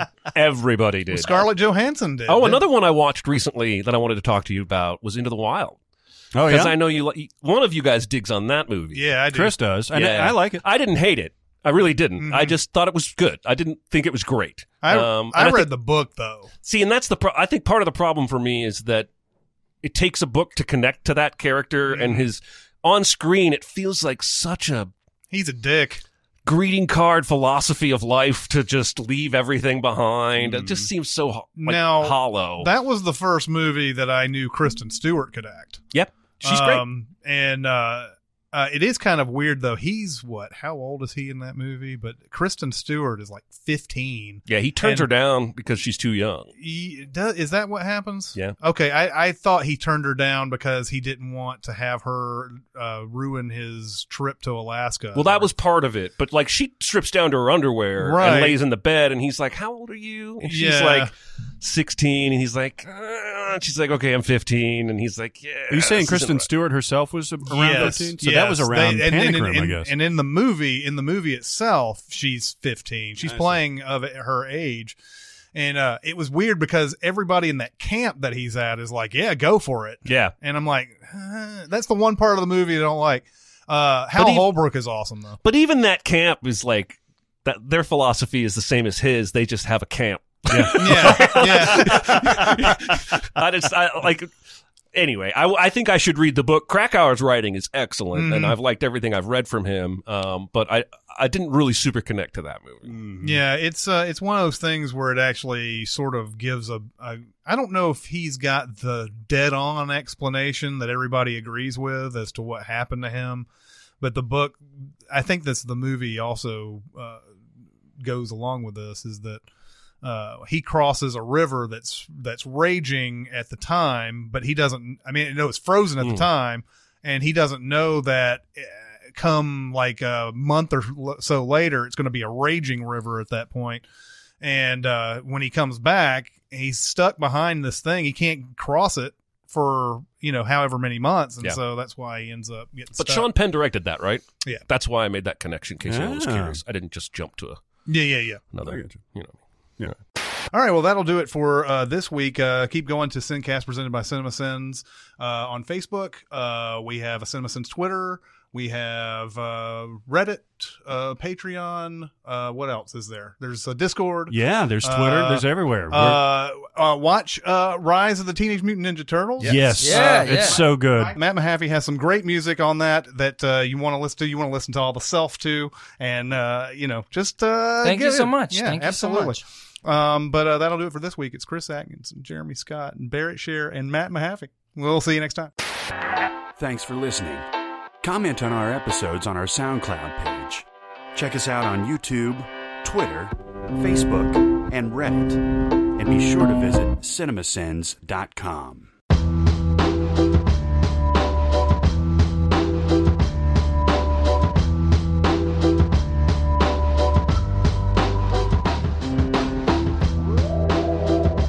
I went through we went through all these permutations of microphones and stuff like that. We started off I was actually in Chicago. We started the podcast like doing a remote thing. It probably sounds like shit over, you know, if you listen to it back Listen in back. the day. Yeah. Uh, but then we we built this out and everything, and then we kept like kind of tinkering and tinkering, and actually went over to NPR uh, to their studios and opened You know house Jason and all that Moon Wilkins? Met Jason Moon Wilkins over there. Yeah, Known him for years. Do you really? I listen to him every morning. He's yeah, yeah, great. yeah, yeah, yeah. It, it's weird to hear his speaking voice versus his radio voice. You know, What mic is he using? he's using the RE20s. All Is he? NPR Okay. uses RE20s that I know of, mm-hmm. and so we tested them out, and it just didn't work for our voices. So we went with the 320s. Oh, mm, interesting. Crazy, isn't that a crazy story, Somebody Jim? out there, That's crazy. somebody out there is gonna really. I'm not even joking. Really dig that like deep audio like Hell yeah, jargon man. discussion. Well, the, it's not me, but someone is. the depth lies in the fact that you all had the same sibilance. That it was like this mic universally captures our emotions. That's right. We've, we're all in the same cycle. Microphones are microphones are weird. Um, you know, it could be the most expensive, most used vocal mic, and if I, you know, if I'm making a record and I'm singing, you know, I have a very lispy voice. Like my s's are really, you know, Mhm. so I um I have to use different mics than normal people. Like, I mean, there are universal mics. I'm just like that just sounds good on everything, but for me personally, it'll make me sound really thin or really. I don't like really bright Yeah, vo- yeah, yeah, yeah. vocals. So, um, if I if I'm I'll cook with whatever's in the kitchen, but like uh, some I just have to roll off a lot of high end. You know, Yeah. But it's your your studio. You have it all. I've got I've got my stuff. chains. Yeah, Yeah. yeah, yeah. Nice, nice. I think we look pretty good. Okay. Uh, I mean, we all look good. I mean, Right. damn. Right. You're talking about our peaks and valleys. Matt definitely looks good. You look you, you look nice. No, this is beautiful. Just you guys just chilling in here, surrounded by YouTube awards. This is Oh my god. Well, I feel really like Game of Thronesy, like you know. Wow, you got the history, man. Yeah. Well, the Franklin, the Franklin Theater, there was a studio that I did a lot of the sElf records at. It was called the Bennett House, and it was basically stone's throw from from that place. So we would record all day. And you'd stay there, so it was like a B and Airbnb upstairs. So you just stay Oh, there. really? Yeah, you stay there. It was like a big old antebellum house nice. and with a giant studio in it. And um, so at night we would walk over to that theater, and it was just couches and beer. Like they had beer, and it was just like this is the greatest thing Oh, ever. you oh, live yeah. life, man. Oh yeah. And now you can only do that in like I mean I, I guess you, you can get beer at uh, I'm at you can get it that at Opry Mills and stuff now. But like the the Austin Theater is it the Grindhouse? Oh, Draft yeah, House. Yeah, The Drafthouse. House, Yeah, yeah, Alamo Drafthouse, yeah, and mm-hmm. that's a chain now, I guess. Yeah. Mm-hmm. Yeah. But just that whole thing of like, yeah, you got a little tray and you can eat and you can just be dick and Yeah. Like Whatever. chewing on ribs while you're watching. yeah, yeah, smacking, Yeah. smacking on some meat. Ribs. Oh yeah. and Childish Gambino's "This Is America." How'd it sound? Pretty damn good. Really? If I could find a third song, because the way she does, do you know both those songs? Decent. Yeah. That in "Bury a Friend," I don't know what she says, but she does that. What do you want from me? Oh, I see. And it's, "This Where is America." This is America. Yeah, yeah, yeah. But because it's the same beats per minute, um, and a lot of songs in that beat per minute's 120 is are rock songs, and so I gave up when I couldn't find like a third anything I'll that give- kind of had a By the time I get home, I'll give you a third. because song. he has that breakdown, that choral Jamaican Oh, na, breakdown, na, yeah. na, na. Um, and so it, it ends up blending pretty well. nice. Anyway, I you know I could put it on YouTube and get a strike, but it was it was fun to tinker with. Fuck yeah, man. I gotta cut that. He